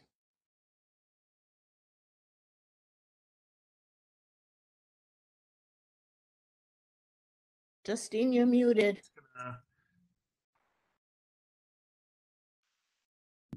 I'm just pontificating, saying nothing important. I'm saying thank you to everybody. Well said, Robin, and you're right. I'm, I'm grateful for this board for putting in the time, effort and energy for, Mhm. um, on this issue because it's so important. All right, next is, um, request to include Community Board One in discussions for the formulation of future joint purpose fund targets, discussion and resolution. Um, all right, I'm hoping that this is a quick, um, no-brainer. Does everybody on the board understand what the joint purpose fund is? Speak up if you don't. And Jeff, is it your hand raised to speak about it? Uh, yes, I ahead, have you two can start, comments, but I'll wait until you're done. Okay. Does, does everybody know what it is? No. Um, Eric? I, I have no idea. Okay. So, um, a quick little idea of what's going on here, okay? There was, back in nineteen eighty, and, and if you pull up the resolution, Lucian, I think that it gives us some background. Um, in back in nineteen eighty, um, a settlement agreement was entered into between the city of New York, uh, the state of New York, uh, the New York State uh, Urban Development Corporation and the Battery Park City Authority, whereby it gave the Battery Park City the authority to collect all of our money, right? The cash cow that we are, it, it collects all of our money and it delineates what it's collecting. It's collecting pilot, which is payment in lieu of taxes. It collects ground rent and it collects civic fees. As that money comes in, the authority has explained to us they take all the money, they stir it around, and they look at it and say, okay, how much of this came in from ground rent? and I'm making a generalization. Usually that's about 20%, give or take. Sometimes it's 17, sometimes it's 20, sometimes it's 19. Who cares? Let's go with 20. 80% ish comes from um, pilot. Making it simple, I'm not dealing with the civic fees right now, but so you got 80 and 20, right? Big buckets. The way that is split, according to the settlement agreement, is between the joint purpose fund, and the general fund for this New York New York City. The New York City general fund pays for things like police, your fire, your DOT, housing, you name it, whatever the things the city runs, that's what the general purpose fund is, okay? The general fund is, right? Um, the joint purpose fund is a, I'm gonna call them buckets, but maybe they're targets. What has happened over the years since 1980 is there's been a number of uh, targets or buckets set forth usually around four. Usually it's around eight hundred thousand dollars. The last iteration was done in 2010, and it was for 810 and uh, 861 million. I said thousand before. I mean million. 861 million dollars, and the 2010 amendment came up with a plan where no one can see this, right? Came up with a plan by which the joint purpose fund buckets were um, uh, 20 million for the general fund of New York State, 20 million for the New York City General Fund, 20 million for affordable housing, and the last bucket, which is being filled or has been filled as we speak, um, is the 20, 261 million for the New York City Capital Fund.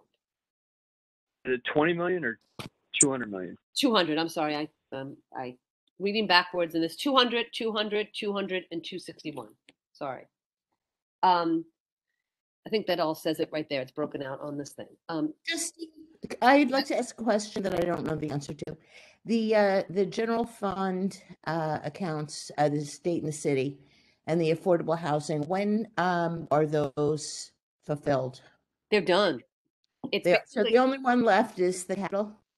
The only one left is the New York State Capital Fund, and I believe that the authority has stated that it is filled as of the end of twenty twenty-one. And I think that's fiscal- Thank you. just That's answer- all. That's all. off. Say that again? That's correct.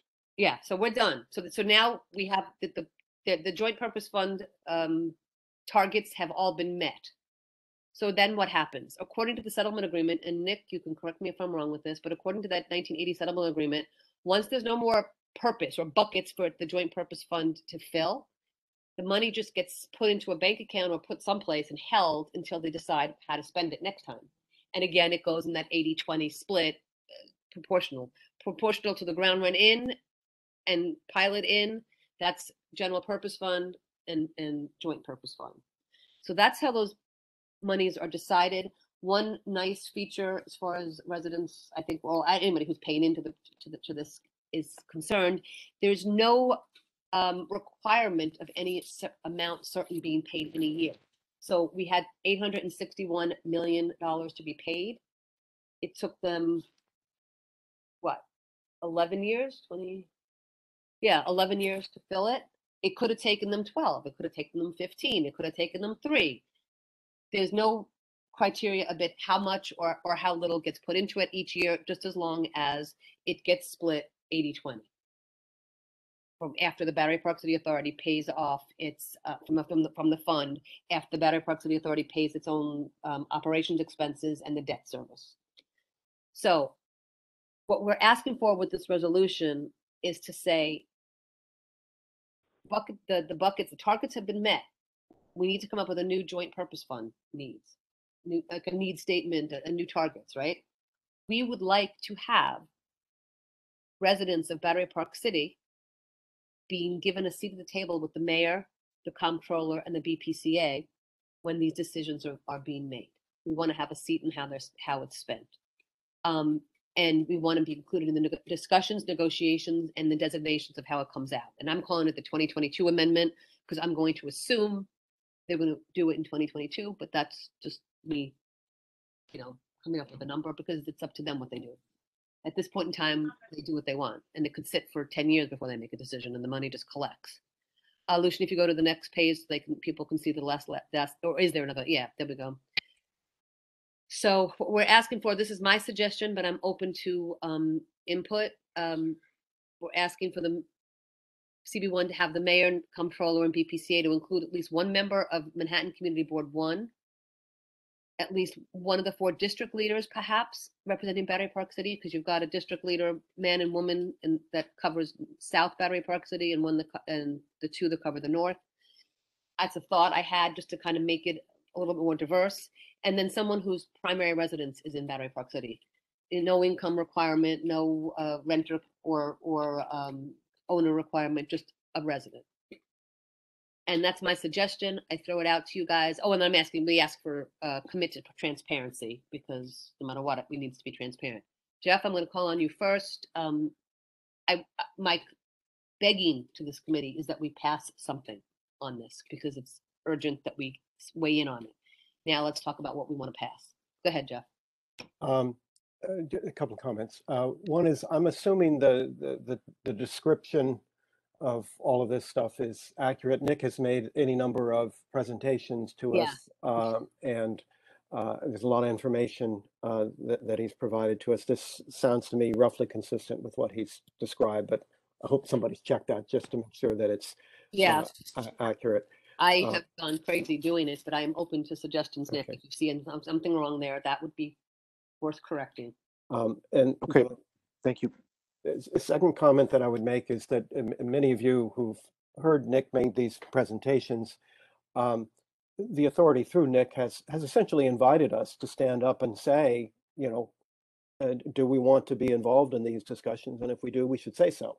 Um, and, uh, you know, they don't necessarily have the power to say yes or no to it, but this is not something in, in uh, that's antagonistic to the authority. It's something that's really responsive um, to uh, it's something that we want, and it's something that's also responsive to suggestions that they've made. Um, in terms of the resolution itself, I don't think we should be designating district leaders. Remember, those aren't public officials; they are political party officials. Oh, okay. You imply you want the ones you refer to happen to be Democratic Party um, officials. Ah, Uh, so if we're going to ask for Democratic Party p- officials, we that's not ask- fair. Good point. Yeah, We so, so I don't, I don't think we should be, uh, you know, it's not a political exercise, so we shouldn't be asking. nix that. That's I mean, fine.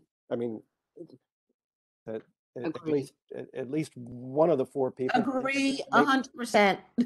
And Yeah, yeah. some of them may or may not be residents of the, of, of, of, of the authority, I mean, of the. of Battery Park, Battery that Park is correct, City, they're and, and, yeah. and they may or may not be appropriate members as, as residents, but I don't think we should designate district leaders. Okay, so I Um, would Other agree. than that, I don't have anything to particularly uh, add to it. I think, I think we should have a small representation similar to what you've described there. I think someone from the community board and at least other, and one other, at least one other uh, resident of, of uh, Battery Park City. It Uh, Sounds I- good to me. I mean, uh, uh, I'm, I'm open to other suggestions. Sounds good to me. Yeah, I accept that solution just to Grace number two. I'm good with that. And anybody else have something to add? If not, call the question. I, I don't see the community saying much of anything. If we're all good, let's just call the question and move forward. Thank you. Call you. the This was question. Easy and fast for All our right, other. here we go. We'll just do this fast. Cuccia, Yes, Cassell, not here. Flores, You have to unmute, um, Eric. Yeah. Sorry, Flores, yes. Callaway, Callaway, yes. Kay,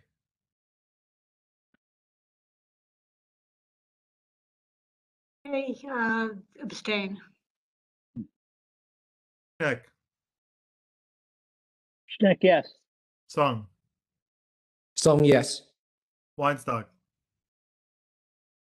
Stock, yes. Forrest. Yes. Okay, the ayes have it. The motion carries.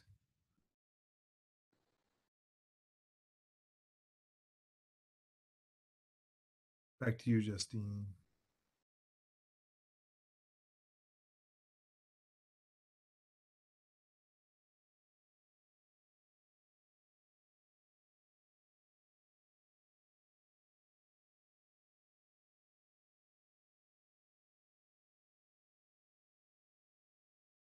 I'm on mute. Um, Nick, uh, thank you for doing this. I'm, I, I want to punt the discussion basically in the description to Eric and, and Nick.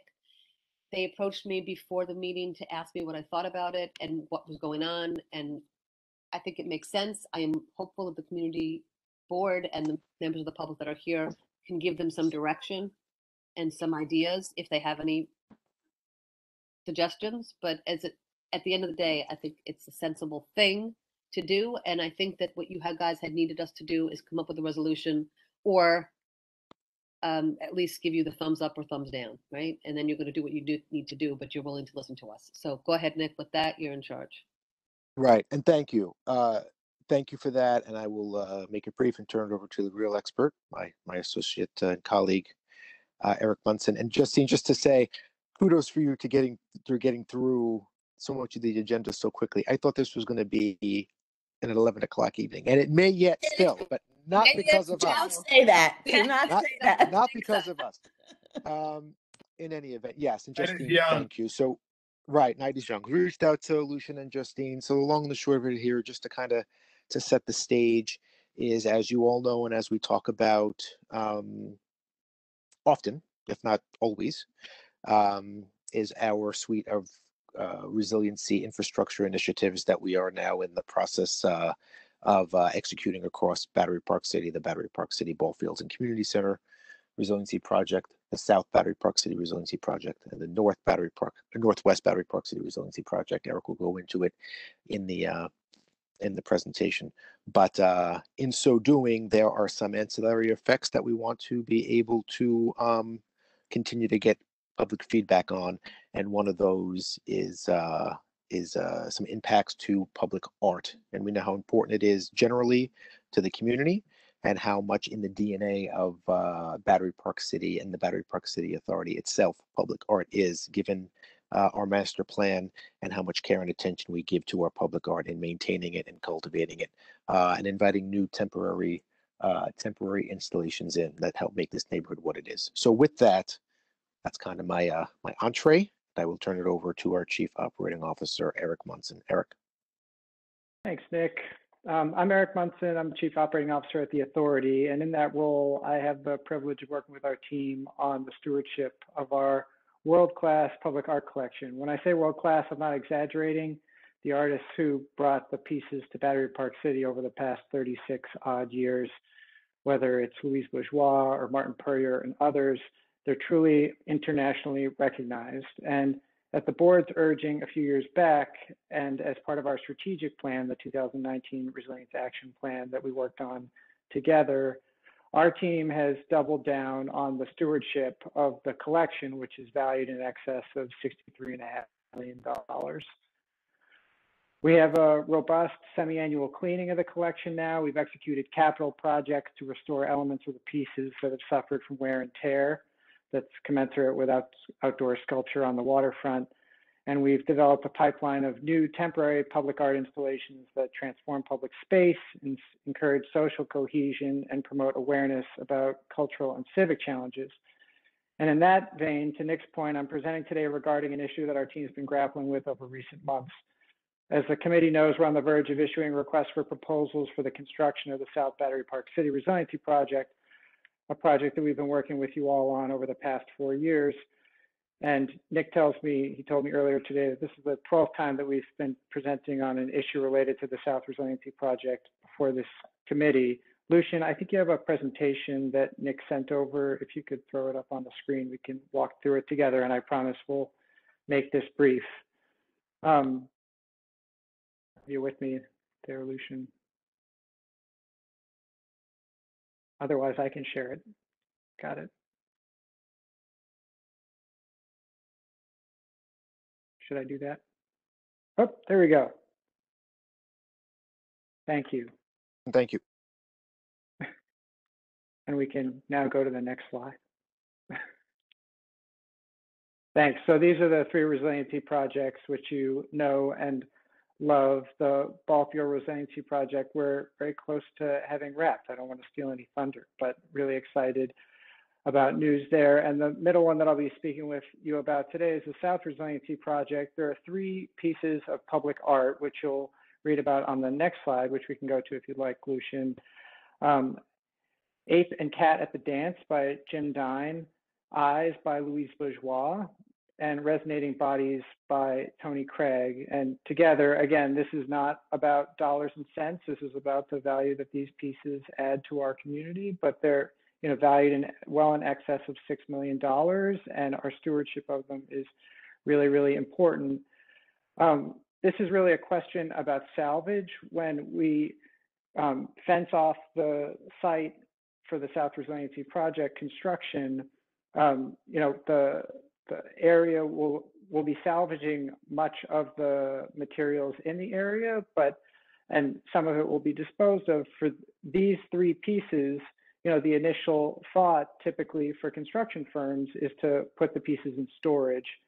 And, you know, it's our opinion that to the extent possible, you know, these public assets should remain in public view, um, regardless as to the work that's going on in this for the South Resiliency Project. And so our hope in presenting to you folks some options for where we can locate the pieces is on a temporary basis just while construction is happening to relocate the pieces still within the Battery Park City community and then return them back to Wagner Park upon the completion of the construction work. So again, just in terms of general timeline, we're really talking about mid next year would be when we would relocate them for a couple of years. Lucian, can you move to the next slide? This is this goes back to the um, content that Nick was sharing before, you know, this really gets to our strategic plan and the work that we did to develop that document and the mandate from our board to make sure that we're being good stewards of these assets. It's not just about the tremendous value that the public art has, but it's really about how they transform our public space, how they encourage social cohesion and promote awareness about cultural and civic challenges. You can read um, Michele Bogart's really terrific book, Sculpture in Gotham, which speaks to the founding of Battery Park City and in its development, the idea that public art plays a central role in the development of the community, not just in terms of planning where buildings are going, residential, commercial, and otherwise, and how parks will be developed, but really the core role that public art plays in the development of a community. It's important to note that you know some people pay loads of money to go to sculpture gardens all over the country, upstate, elsewhere. Battery Park City Authority's public art is open 24 7, 365, free and accessible to all. And the pipeline of temporary public art pieces that we're working on similarly uh, seek to meet these same goals. Lucian, if you could go to the next slide, please. We had some, oh, you skipped one. We had some goals that we were um, trying to meet when coming up with some new locations. Again, keeping the pieces accessible to everyone, which is to say not put them in storage, not move them off site. Um, to temporarily re relocate, relocate these pieces only once. Um, as I mentioned before, we have the North and West Resiliency Project coming up as well. And so the idea of moving the pieces, um, say for instance, to Stuyvesant Plaza, only to need to relocate them again when the construction begins for the North and West Resiliency Project would not be wise. To try to maintain existing park usage. So I know this has been a discussion point um, for quite some time now, but the idea that we want to site these pieces in locations where there's minimal, if any, active recreation so that people can enjoy it just as they would in a sculpture park. Um, and also to maintain the original intent of the artist. So for instance, with Ape and Cat at the Dance, it was uh, artist Jim Dine's intention all, always from the beginning that you would sort of happen upon it. And for those who walk in Wagner Park, it always sort of comes out of nowhere when you're walking down the esplanade. And then the last one here is minimizing community and operational impact. The idea is that this is a temporary move. And so not only do we um, not want there to be uh, you know, a significant impact on the community in moving these pieces, but we also don't want it to be tremendously costly. We don't want there to be an impact on underground utilities. We want it to be a relatively straightforward process to relocate it. And I should add, just for the public's awareness, um, the eyes and resonating bodies, the sort of larger pieces, do have substantial footings or sort of posts that have the pieces anchored to the ground. And so again, we can't sort of, uh, there are, as we know, limited places where we can site additional public art in Battery Park City. Um, and these uh, pieces, again, they just, they have few, but real operational needs that we need to meet.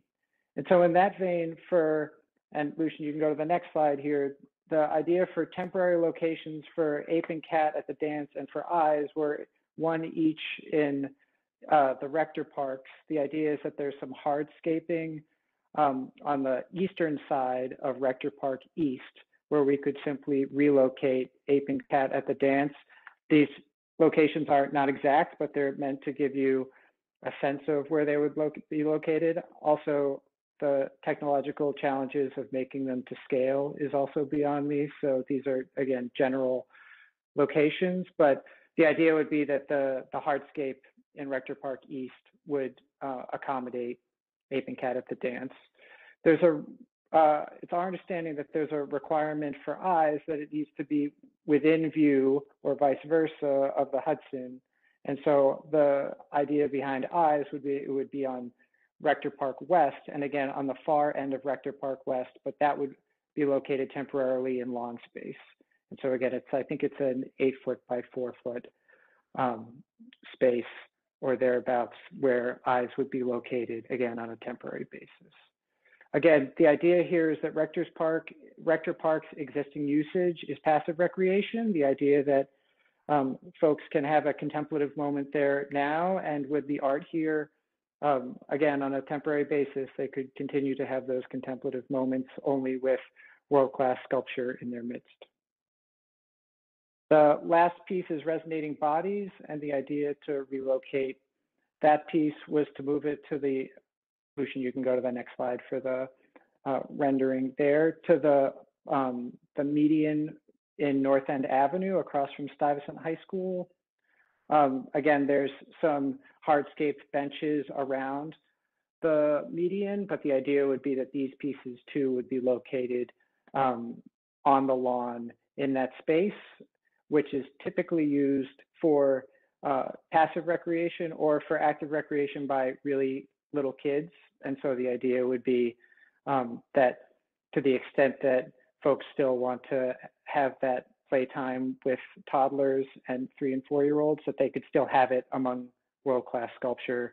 The other thing that we sort of liked about the idea of locating these pieces here is that um, it's directly across from from Brookdale, and so it would give um, folks who are typically uh, have a harder time getting around the neighborhood some access to some world-class sculpture right out their window, and also for what it's worth, the Stuyvesant kids who have lunch um, on that median. So those are the locations that we had proposed um, and that we're proposing here.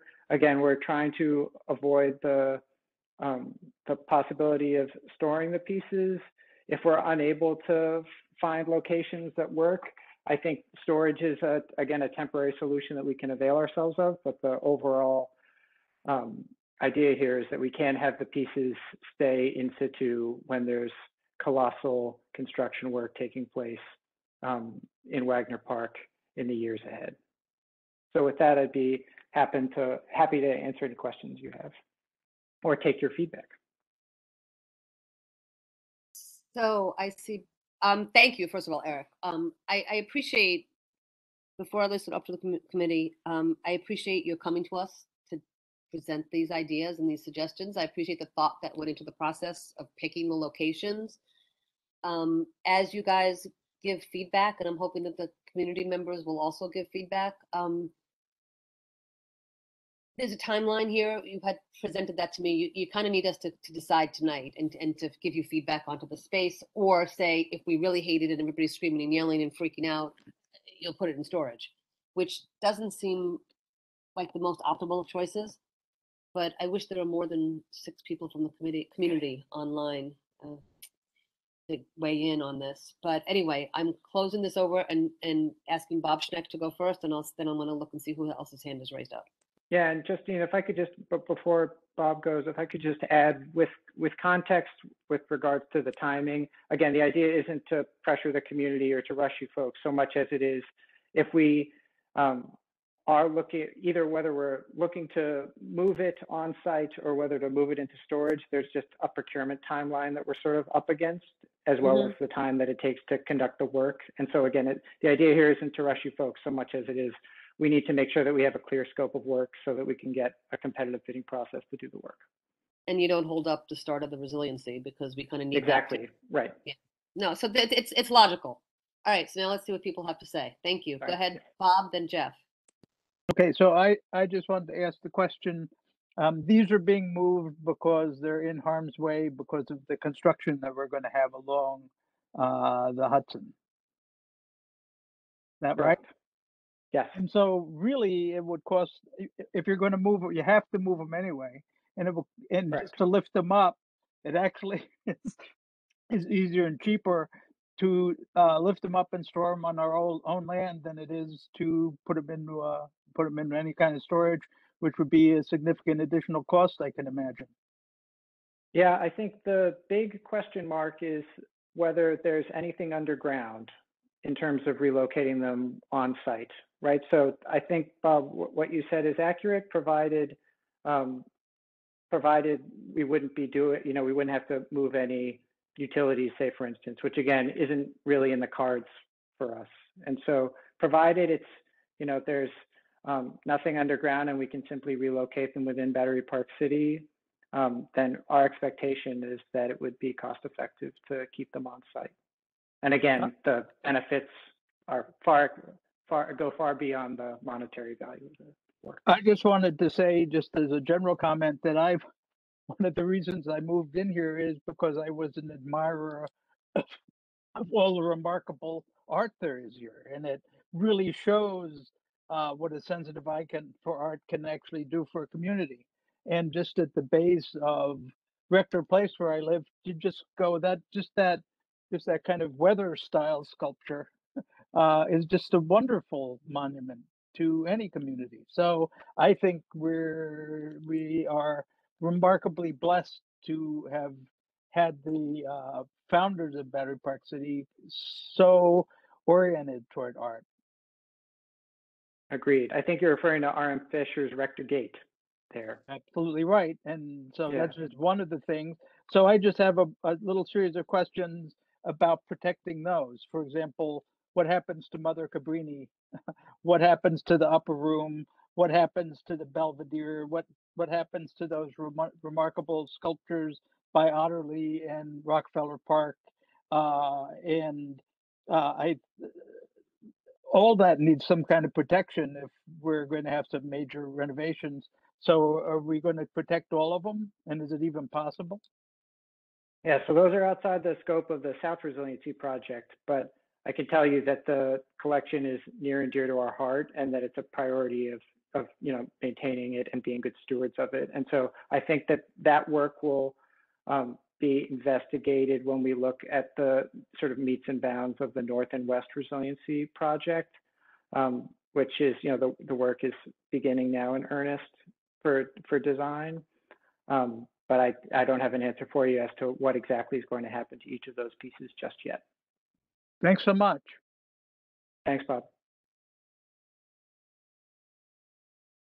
Thanks, Bob. So then Jeff, then Robin.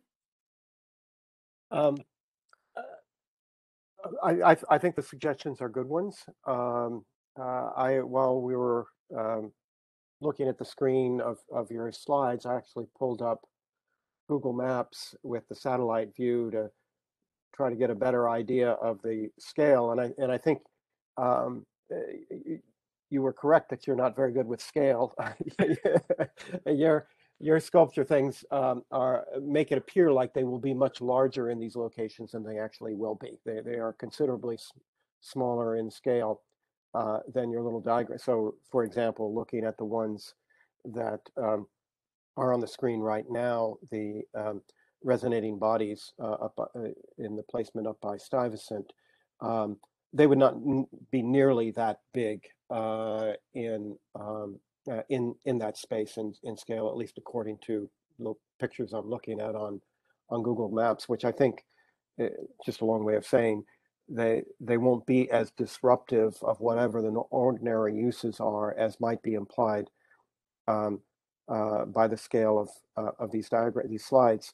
Um, but I would ask, and and and perhaps this is your objective already, is that to the maximum extent possible, minimize the footprint of these uh, pieces in their temporary spots, so that w- whatever is taken away from its current use is is is as small as can be. And I I think given these locations, which I'm familiar with all of them, it'll probably enhance the experience rather than the other way around. But I think it is important to, to minimize the physical impact. That's my only comment.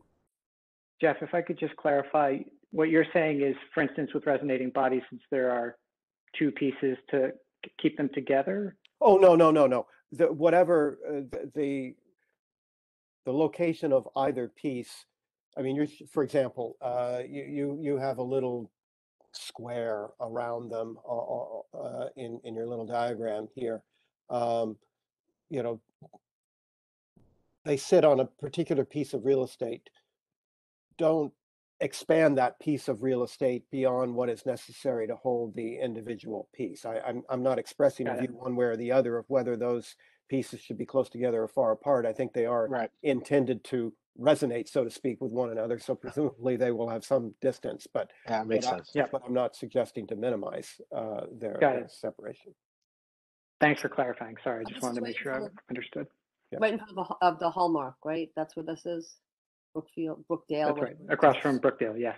And that right now is just a grassy area. It's not the dog run. That's correct. The dog run is in the median south of it. Got it. No, yeah, I'm just look, trying to get place it. Thank you. Um, I think uh, Judith is Robin, Robin. Um, I, I think it's, uh, first of all, I think it's great that, uh, the art is moving to a new neighborhood in our community and giving, you know, like everything is local, right? So, I mean, it'll give people in that neighborhood, in the North neighborhood, a chance to see what's typically not in their neighborhood. Um, and I appreciate the comment you made about assuming there are no underground interferences with the setting of the sculptures on any parcel. Um, because that would be a much larger cost uh, item and much more disruptive. Um, if you do encounter um, utilities or whatever underground uh, uh, assets, are there other places that you've thought of? And at the risk of sounding terrible, maybe that place between the Merc and uh, the Irish Hunger Memorial as a big grassy area.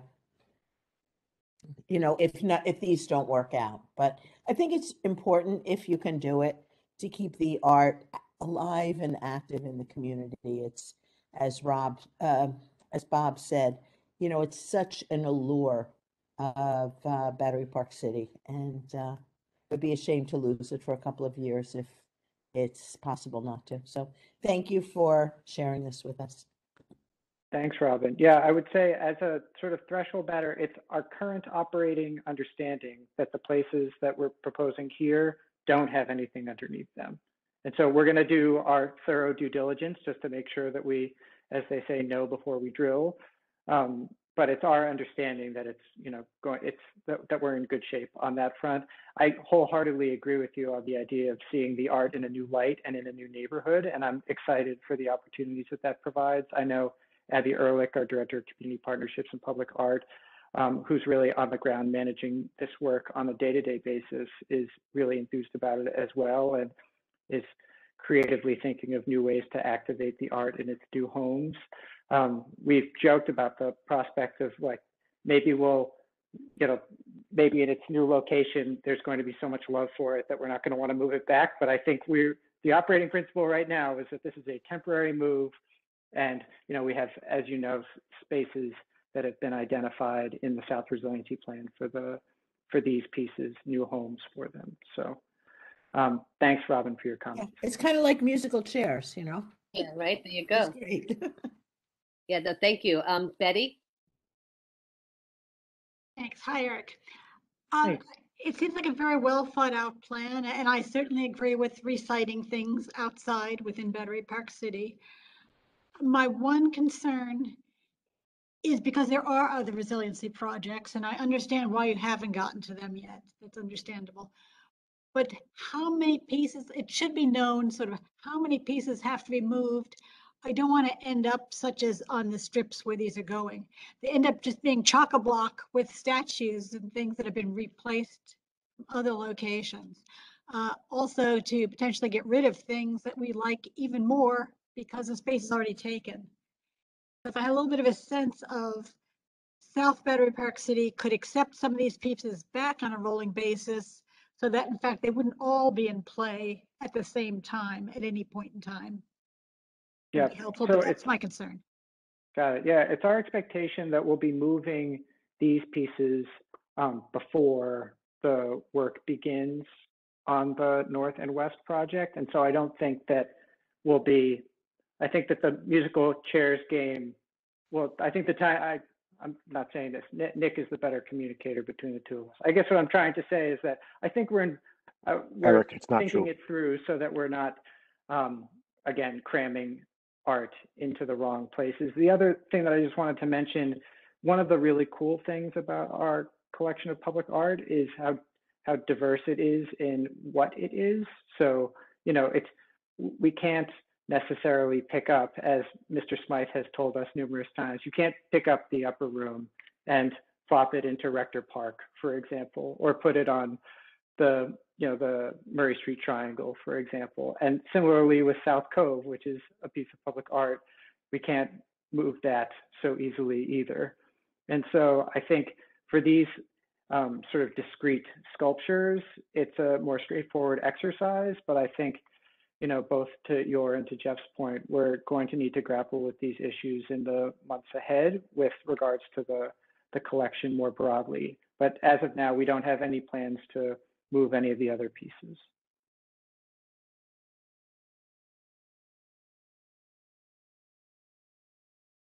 Excellent. Um, I think that everybody has spoken and I don't see anybody from the attendee list weighing in.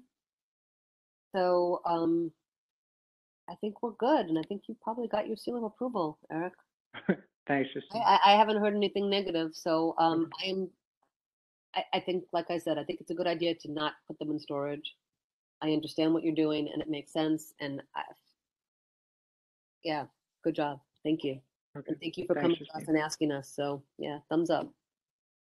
Thank you, Justine. You're welcome. This And- is uh, great. I mean, if we had to draw it up to go a certain way with getting the community involved at the outset, making sure that we had a well thought out approach, and Yeah, this this is it. So um, again, I, I'm I'm Cool. glad that we continue to set the set the standard for uh, engagement together uh, Wait, as a group here. You want gonna interrupt you before I close it out because I see Barbara Ireland in the um attendees section has raised. Oh, hey, Barbara. Let's let her speak, but yeah. Which I'm, Yes, thank you. I'm glad, no, I'm happy because I'd like to hear what the community at large has to say. Okay, Barbara, so I would like to have us walk through Rector Park before the artwork is placed or approved. That is an active ground and the two end items on the park as anchors um, do have a lot of public action of sitting space.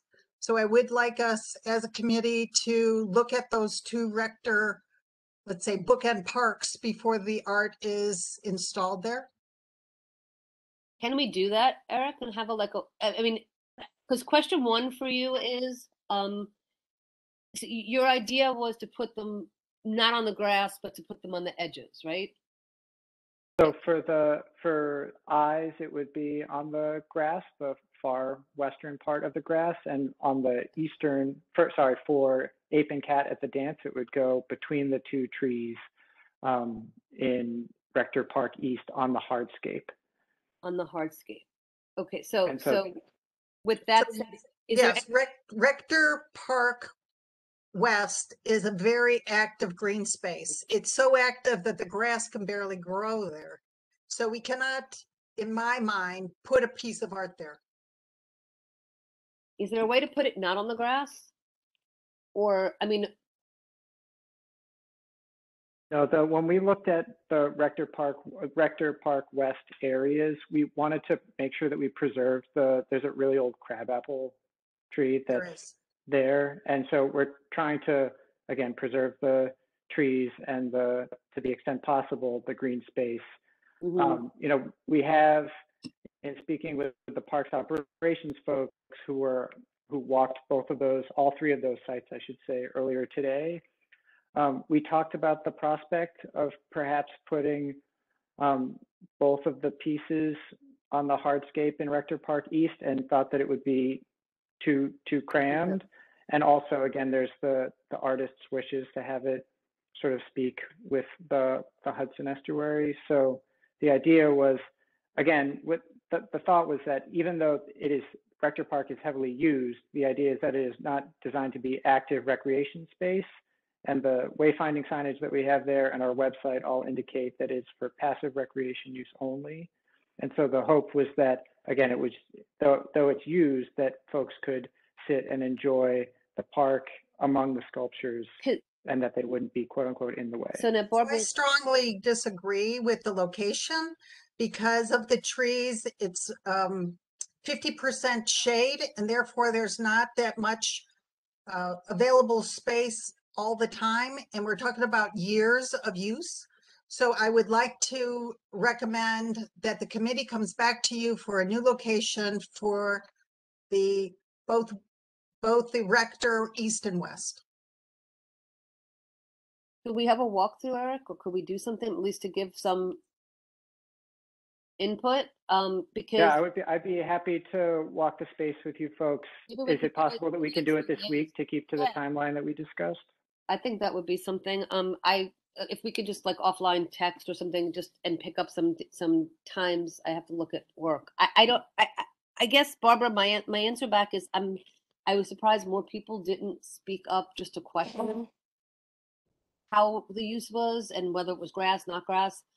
My understanding of the way the Rector Park West is used is you've got little kids that will play ball, they run. It, it's never a big game. You're not playing a, you're not playing soccer there. You're not playing tennis there. You're not playing. No, we're know, not. We're, they're picnicking, they're having birthday parties, they're laying out in lawn chairs, and stuff um, like that. et cetera, but it's a very busy park. It is a busy park, and that's why the walkthrough might be helpful because with the eyes, they're not that big. I mean, they're big, but they're not that big. So I don't know that that would interfere with any of those activities, which is why when The And, size, and the, Eric, it was the four eyes by do eight. not, e- the eyes don't even see the river, so I don't see the correlation Yeah. there. It was, I- it was four, four by eight was the size, Eric? I'm sorry. Uh, I'd like to double check. Okay. It's, it's mean, in yeah. that vicinity. So Barbara, let's um Nick, can you just like sort of try to set something up and we can do a walkthrough? And I see Bob Schneck there. Yeah, Um, for sure. We'll connect coordinator. offline and we'll get some Let- time let's do scheduled that if we can because- this week. If other people, can I just people who live there, second, Justine? yeah, Yeah, um, y- yeah, I think a tour is a good idea, but I, I don't know, for the little kids who seem to populate that area gonna be with Bob. their that's what I- families, I think it's a lovely amenity for them to have public art right where they're playing. So I, I wouldn't object to it unless it took up a huge amount of real estate, which I don't think it does. So That- that's my two cents on it. Yeah, Having kids who grew up and played in that park. I, would agree with you because again, having kids that, that play there and I, you know, see kids that play there, I, I think that the use would be, they just play around it and Yeah. people will still use it. So I, I don't see it as, as, as, um, prohibitive. Um, I don't, You think can see, I don't and you can see parents saying to their children, okay, run up to the statue. yeah, right, exactly. And things back," like you that. know, So- I mean, I think think it's, I think it's a real, um, cultural enhancement for Yes. children in the community. So anyway, said, my I two also cents. Yeah, no, I appreciate it. And Barbara, but, but I want to give Barbara um uh, voice, right? I want her voice to be heard on it. And and if we could do a walkthrough with the idea that if if if if you know, eh, to me, if the option is putting it in storage or having it potentially ruined or putting it there, I, I say put it there. But um, I, you know, we can look and see, and let's get a sense of the scale of it. And then, Bob, is your hand raised to speak? Yes. And Barbara, before you speak, thank you for re- re- for speaking because I really thought more people would weigh in. How's that, or question at least? So, go ahead, Bob. So I I have uh, lived on the fourth floor, exactly above uh, Rector Park East, and I've witnessed the kids playing in it for all those years. And I think that this is a, a terrific public amenity for them, and it's an oppor that art. I really believe that art matters, and that a chance for kids to interact with art and see it up close like that is a really terrific value. And my reference point is having visited the Alice in Wonderland out uh, in Central Park. It's wonderful to see kids interacting with that.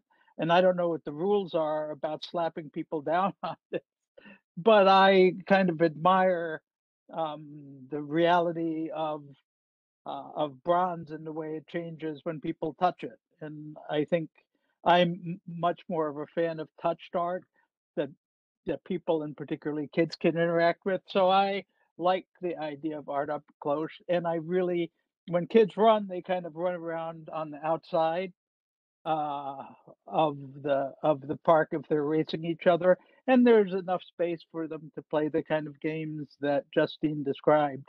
So I think it's a I think it's a wonderful solution and a wonderful social experiment to put things like that in a park up close and personal. I yield.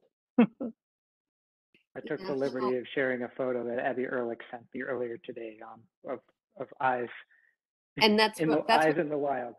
Eyes in the wilds, right there go. But that that's what I pr- expect will happen at Rector Park too. So so again, I'm giving, I appreciate Barbara attending the meetings and, and, and having her, having a voice and be, and I want her to be heard. So if we could do the walkthrough the next day or so, whatever.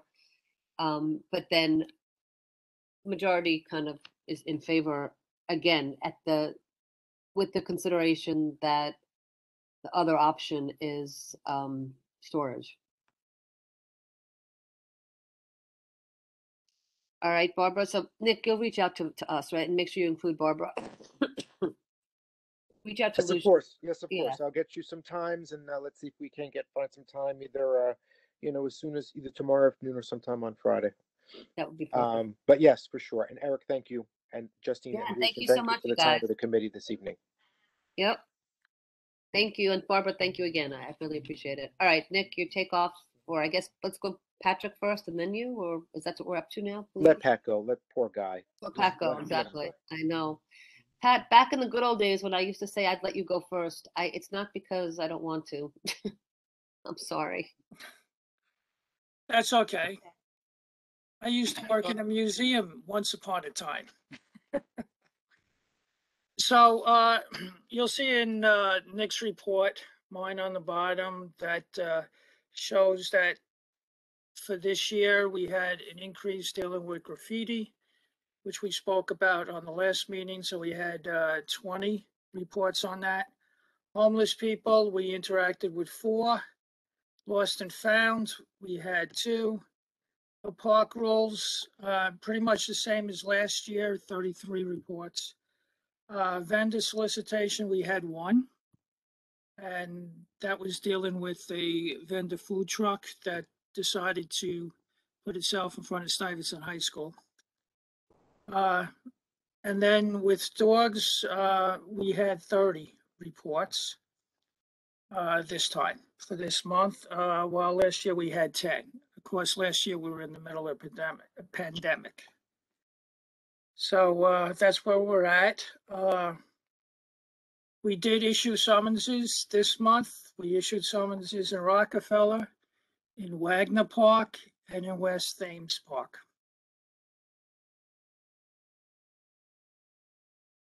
Anybody have questions?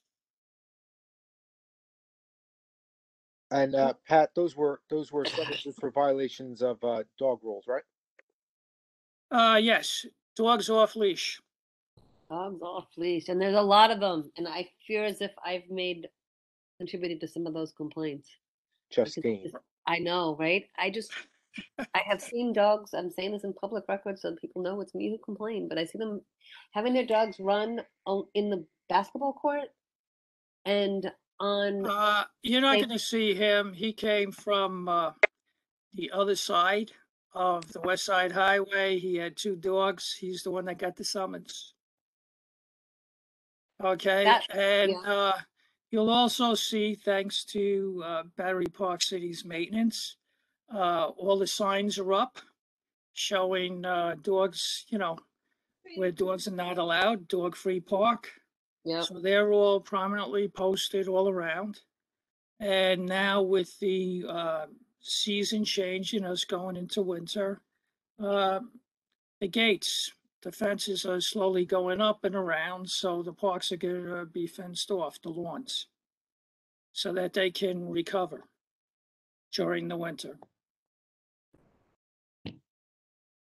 No, that makes sense. Thank you. And and thank you for getting the signs up. That's great. And um yes, my husband's listening to me. I am not a dog offender with the dogs and the thing. I'm a dog complainer or a complainer about the dogs off leash. So just for the record, to be clear.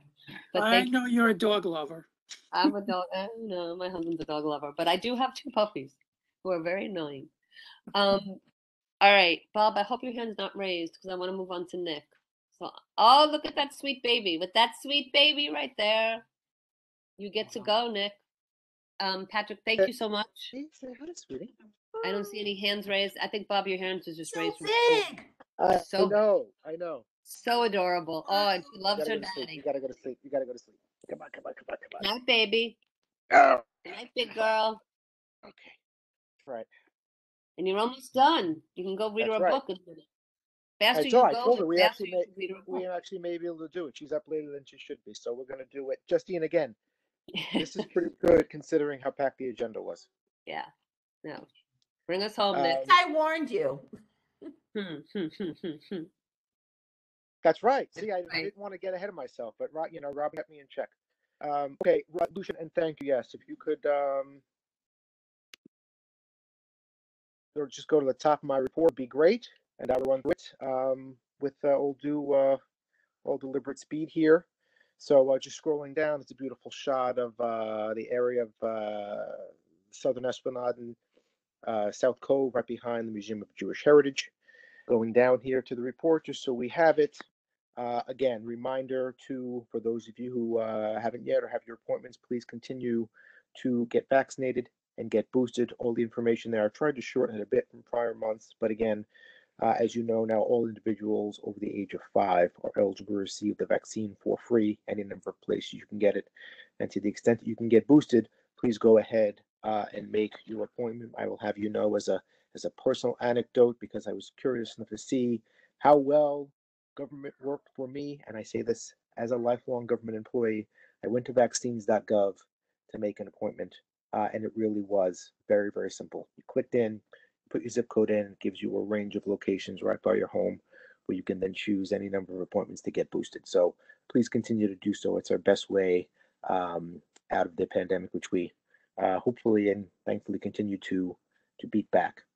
Um, as we scroll down there, we have some COVID statistics. Uh, locally, we are um, just in line with around where the citywide rate is, which is about two and a half percent over the past seven days or so, uh, but hopefully trending down. There was a, a note in the news the other day that New York City, I think, had gone two straight days for the first time in a while without a COVID related death, thankfully. And that was due primarily to the very high vaccination rate, which is now over 90% uh, in New York City. So, uh, heading into the holiday season, obviously, there's a picture of the North South Pole, which every night from now through December 6th is being lit with a candle to uh, uh, to commemorate Hanukkah, of course. Tomorrow evening is the Battery Park City Annual Holiday Classic Holiday Lights in South Cove at 6 p.m. So come, please, for music and snacks. The Harlem uh, Sing Harlem Choir, Choir and PSIS 276 will be uh, singing along with a special guest appearance by you know who. Um, and then, obviously, as we celebrate the holiday season, let's keep in mind those who are not as fortunate.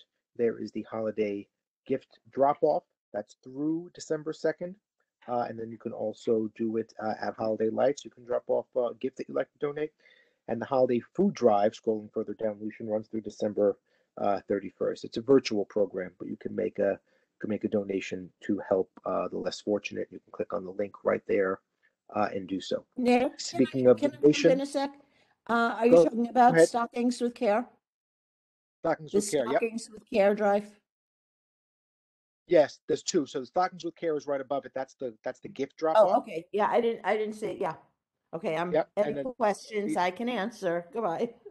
No, no, no, completely okay. Thank you, Robin. And then the and thank you. I know uh, some folks locally are involved with Stockings with Care as well. I'm, you know, I know they're they're modest enough, but uh, they do wonderful work. So it's a great organization, and we're very lucky to partner with them for some years now. Uh, City Harvest is the food drive, and then the blood drive, our holiday uh, holiday blood drive is coming up on December eighth, and that's at that's at Six River Terrace from twelve to six. And uh, over the course of the past year, we've gotten about 400 or so donations from the from the Battery Park City community. So, so thank you again for being so generous uh, with your time and your donations. Okay, uh, very quick sneak peek. Uh, going down to the next page is the Winter 2022 event guide. That's going to have some classics and some new uh, favorites for the months of January and February. And I don't want to give too much away, but rumor has it that if you come to Holiday Lights tomorrow night, you may also be able to get your hands on a hard copy of the Winter 22, 22 calendar. So another reason to come to Holiday Lights and celebrate the end of another year with uh, the Battery Park City community. Um, the Children's Tree. Um, some months ago, we came to the community board. Actually, I think it was the start of last month. Uh, Justine, another prime example of us reaching out you welcoming us in. Um, we came to the community board to discuss the planting of the children's tree at the Museum of Jewish Heritage. You'll see that there at the bottom of page four. On the 17th, that was planted by our great uh, Parks Operations team. You'll see the tree going in there, and it is going to be officially dedicated tomorrow, uh, tomorrow morning at 11 o'clock um, at the Museum of Jewish Heritage. So I know we all are all otherwise uh, working or maybe engaged, but if anyone would like to stop by for that uh, ceremony, uh, PS IS 276 student choir will be singing. Um, we'll have the U.S. Uh, ambassador to uh, the United Nations there as well, as well as uh, Jack Kliger and a number of uh, who's the president of the museum, and a number of survivors uh, from that camp will be there tomorrow morning. So if anyone would like to attend, please let me know, um, and we can get you right into the event. It should be a real special, real special moment. And thank you again for the community board uh, for having us uh, some months or last month to discuss um, some of the particulars around that that very special addition to our natural landscape. Okay, um, winter hours at the ball fields uh, start today, so they're closing now at 8 p.m. daily instead of 9 p.m. We all know that that's that's usual, uh, but just so we're aware of that, hours are now to 8 p.m. and they will be opening at 9 p.m. again starting um, in April. Okay, Parks Happenings, we started this last month and we just added some more again. I don't have to go through every one, uh, but a couple of things I would like to make note of uh, in addition to holiday lights and the watering of the trees and the leaf pickup for composting. One of the things that struck me when I was putting this together is um, protective fencing. And I asked Ryan Torres, our vice president of parks operations, to make sure I had it right. And I said, you know what, I'm going to bring this up because it really speaks to the care that we take in uh, maintaining our gorgeous public spaces. Their uh, installation of a, a, protective salt fencing around the North End Avenue planting beds.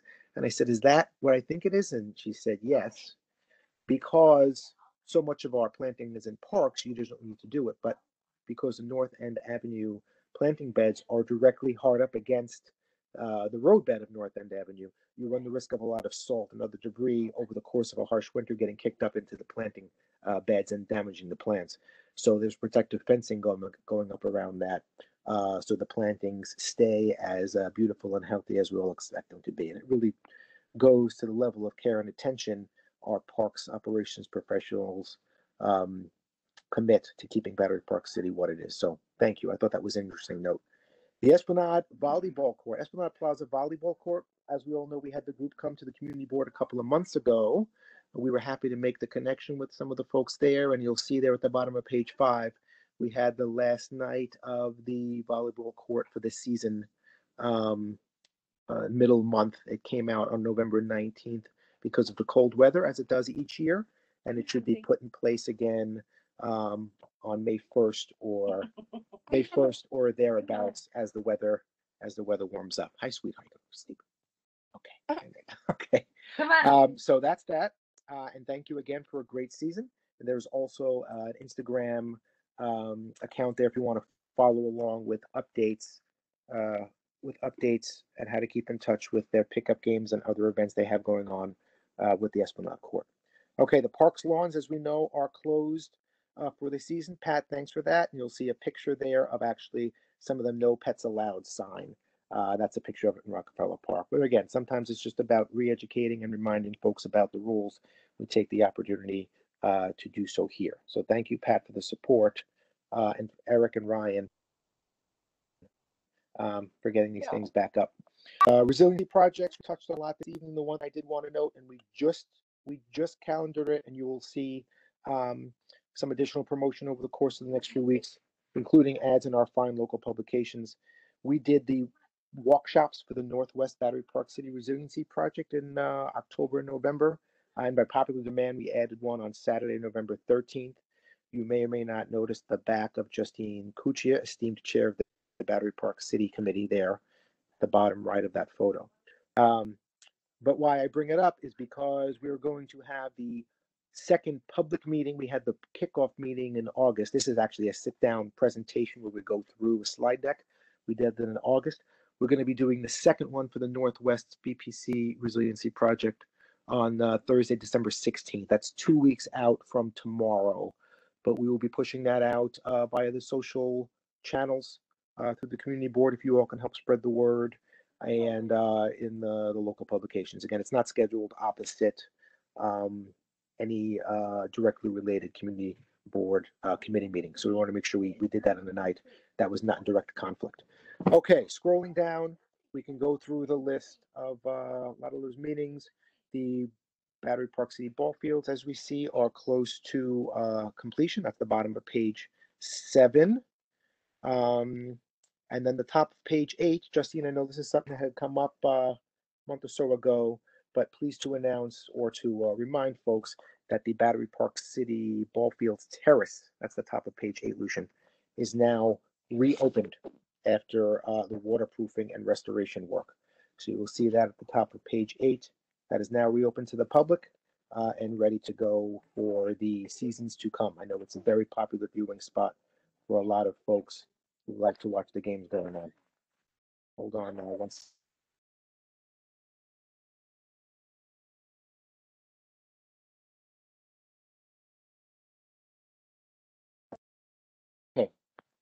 Okay, scrolling down, Lucian, thank you.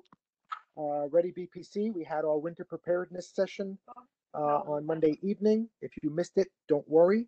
It will be on our YouTube channel shortly. You'll recall we presented this uh, to the committee uh, some months ago. We did the initial presentation in June as kind of an introductory session. We did one the other night on winter preparedness, including information on such topics as how to prepare for a winter storm and extreme cold, snow removal supplies, and how to stay connected. So that uh, will be on our YouTube channel quickly. It actually uh, soon, it, uh, shortly rather. It actually has a lot of useful information and is only about a half hour. So if you have some time as you're running back and forth, you want to uh, click onto it and listen. It has some really useful information from our partners at the New York City Office of Emergency Management. Uh, scrolling through, uh, Lucian, the rest of this stuff is not unimportant, but is also not new news. So the only thing I would draw your attention to, uh, scrolling down to the bottom of page nine, is our last Battery Park City Board meeting for the year, is Wednesday, December 15th. And the New York Police Department, New York City Police Department First Precinct Community Council is notably back in person uh, beginning next Thursday. That's Thursday, December 9th at 6 p.m. at the First Precinct Station House. That is a great uh, forum for folks who want to uh, discuss um, public safety and other quality of life matters in the neighborhood. And that is uh, next Thursday, again, next Thursday, December 9th at 6 o'clock at the First Precinct Station House. Uh, and beyond that, no public, uh, no permitted walks or runs scheduled um, for any more of the season. And that's it. Yay. Justine, thank you No, for the very time. good. Um, and you reminded me, I don't know why, and maybe I missed it, but um, I want to make sure everybody knows and we have on the record that the connection bus is suspended indefinitely at this point, not for um lack of funding, how's that, right? But it's it is not running right now and um I've I've back behind the scenes and I'd love to have the um the uh, Downtown Alliance to come in and, and kind of present as to what their plan is to get it back up and running. Because it's cold, a lot of our uh, seniors as well as people with young children rely on that bus. It gets to more places um, than the city buses get to, and it's just an easier, simpler way to get around. And a lot of people rely on it. So um, that would be something that I would look to the authority as we get more information to kind of help get this up and kind of pressure the pressure them to get it going. Give us answers as to what's going on and to get it going. Um, and with that said, does anybody have a question? Bob, your hand is still raised. I'm hoping it's not um, that I've ignored you this whole time, but you certainly have the right to speak. So please, if you have something to say. I have a small thing to say, and it's just two pieces. One is about the park lawns. Um, uh, in some of the commentary, people have mentioned that they're bald where they should be grassy, and I've seen these lawns at a quality uh, at a at a golf club kind of quality in my lifetime here, and we're way away from that now. And I even consider buying some clover and kind of uh, seeding it myself, but I don't think that'd be encouraged but we really need, at least in the Little Rector Park here, we really lost a lot of grass and in the past two or three seasons, the skill at replacing it it hasn't been there. So we need to give it a little more attention if we can. And the other thing is something I've mentioned to you lots of times before, and every year it gets a little worse, and that's a re- restoration for the Berlin Wall, which is where the uh, where the painting is really starting to crackle away. And so, if that's going to be preserved, it has to be soon. Otherwise, it'll just be a blank slate of flat concrete. So that's my those are my two comments. But I do want to thank the Battery Park City Authority for doing great work year after year. So I'm still a believer. Thank you. Bob, I can speak to the Berlin Wall section, which is a perennial issue that we are trying to grapple with. Um, the uh, we're trying to find an appropriate home for it to accompany the restoration work, but we think that the most appropriate home may actually be its existing home and that we might find a way to protect it on site. So that's our current thinking, but we're working with some specialists to make sure that we are taking a sensible approach. Which is great. No, that, that's perfect.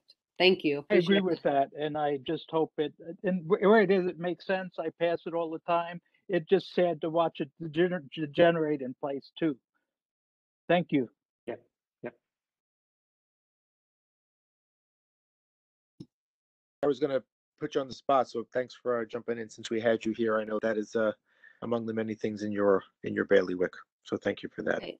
And I think with no hands raised that we are good and I can call this meeting to a close. Do I have a second for that? Second. Thank you so much. And I want to thank you all for your input tonight and your, um, yeah, your information, your input and your passion for everything that we were talking about. Because it's important and I appreciate all of you. So thank you very much and Thank uh, you. good night, everybody. Thank you. Justine, eight fifty. night. That's not bad, Justine. Say again, what?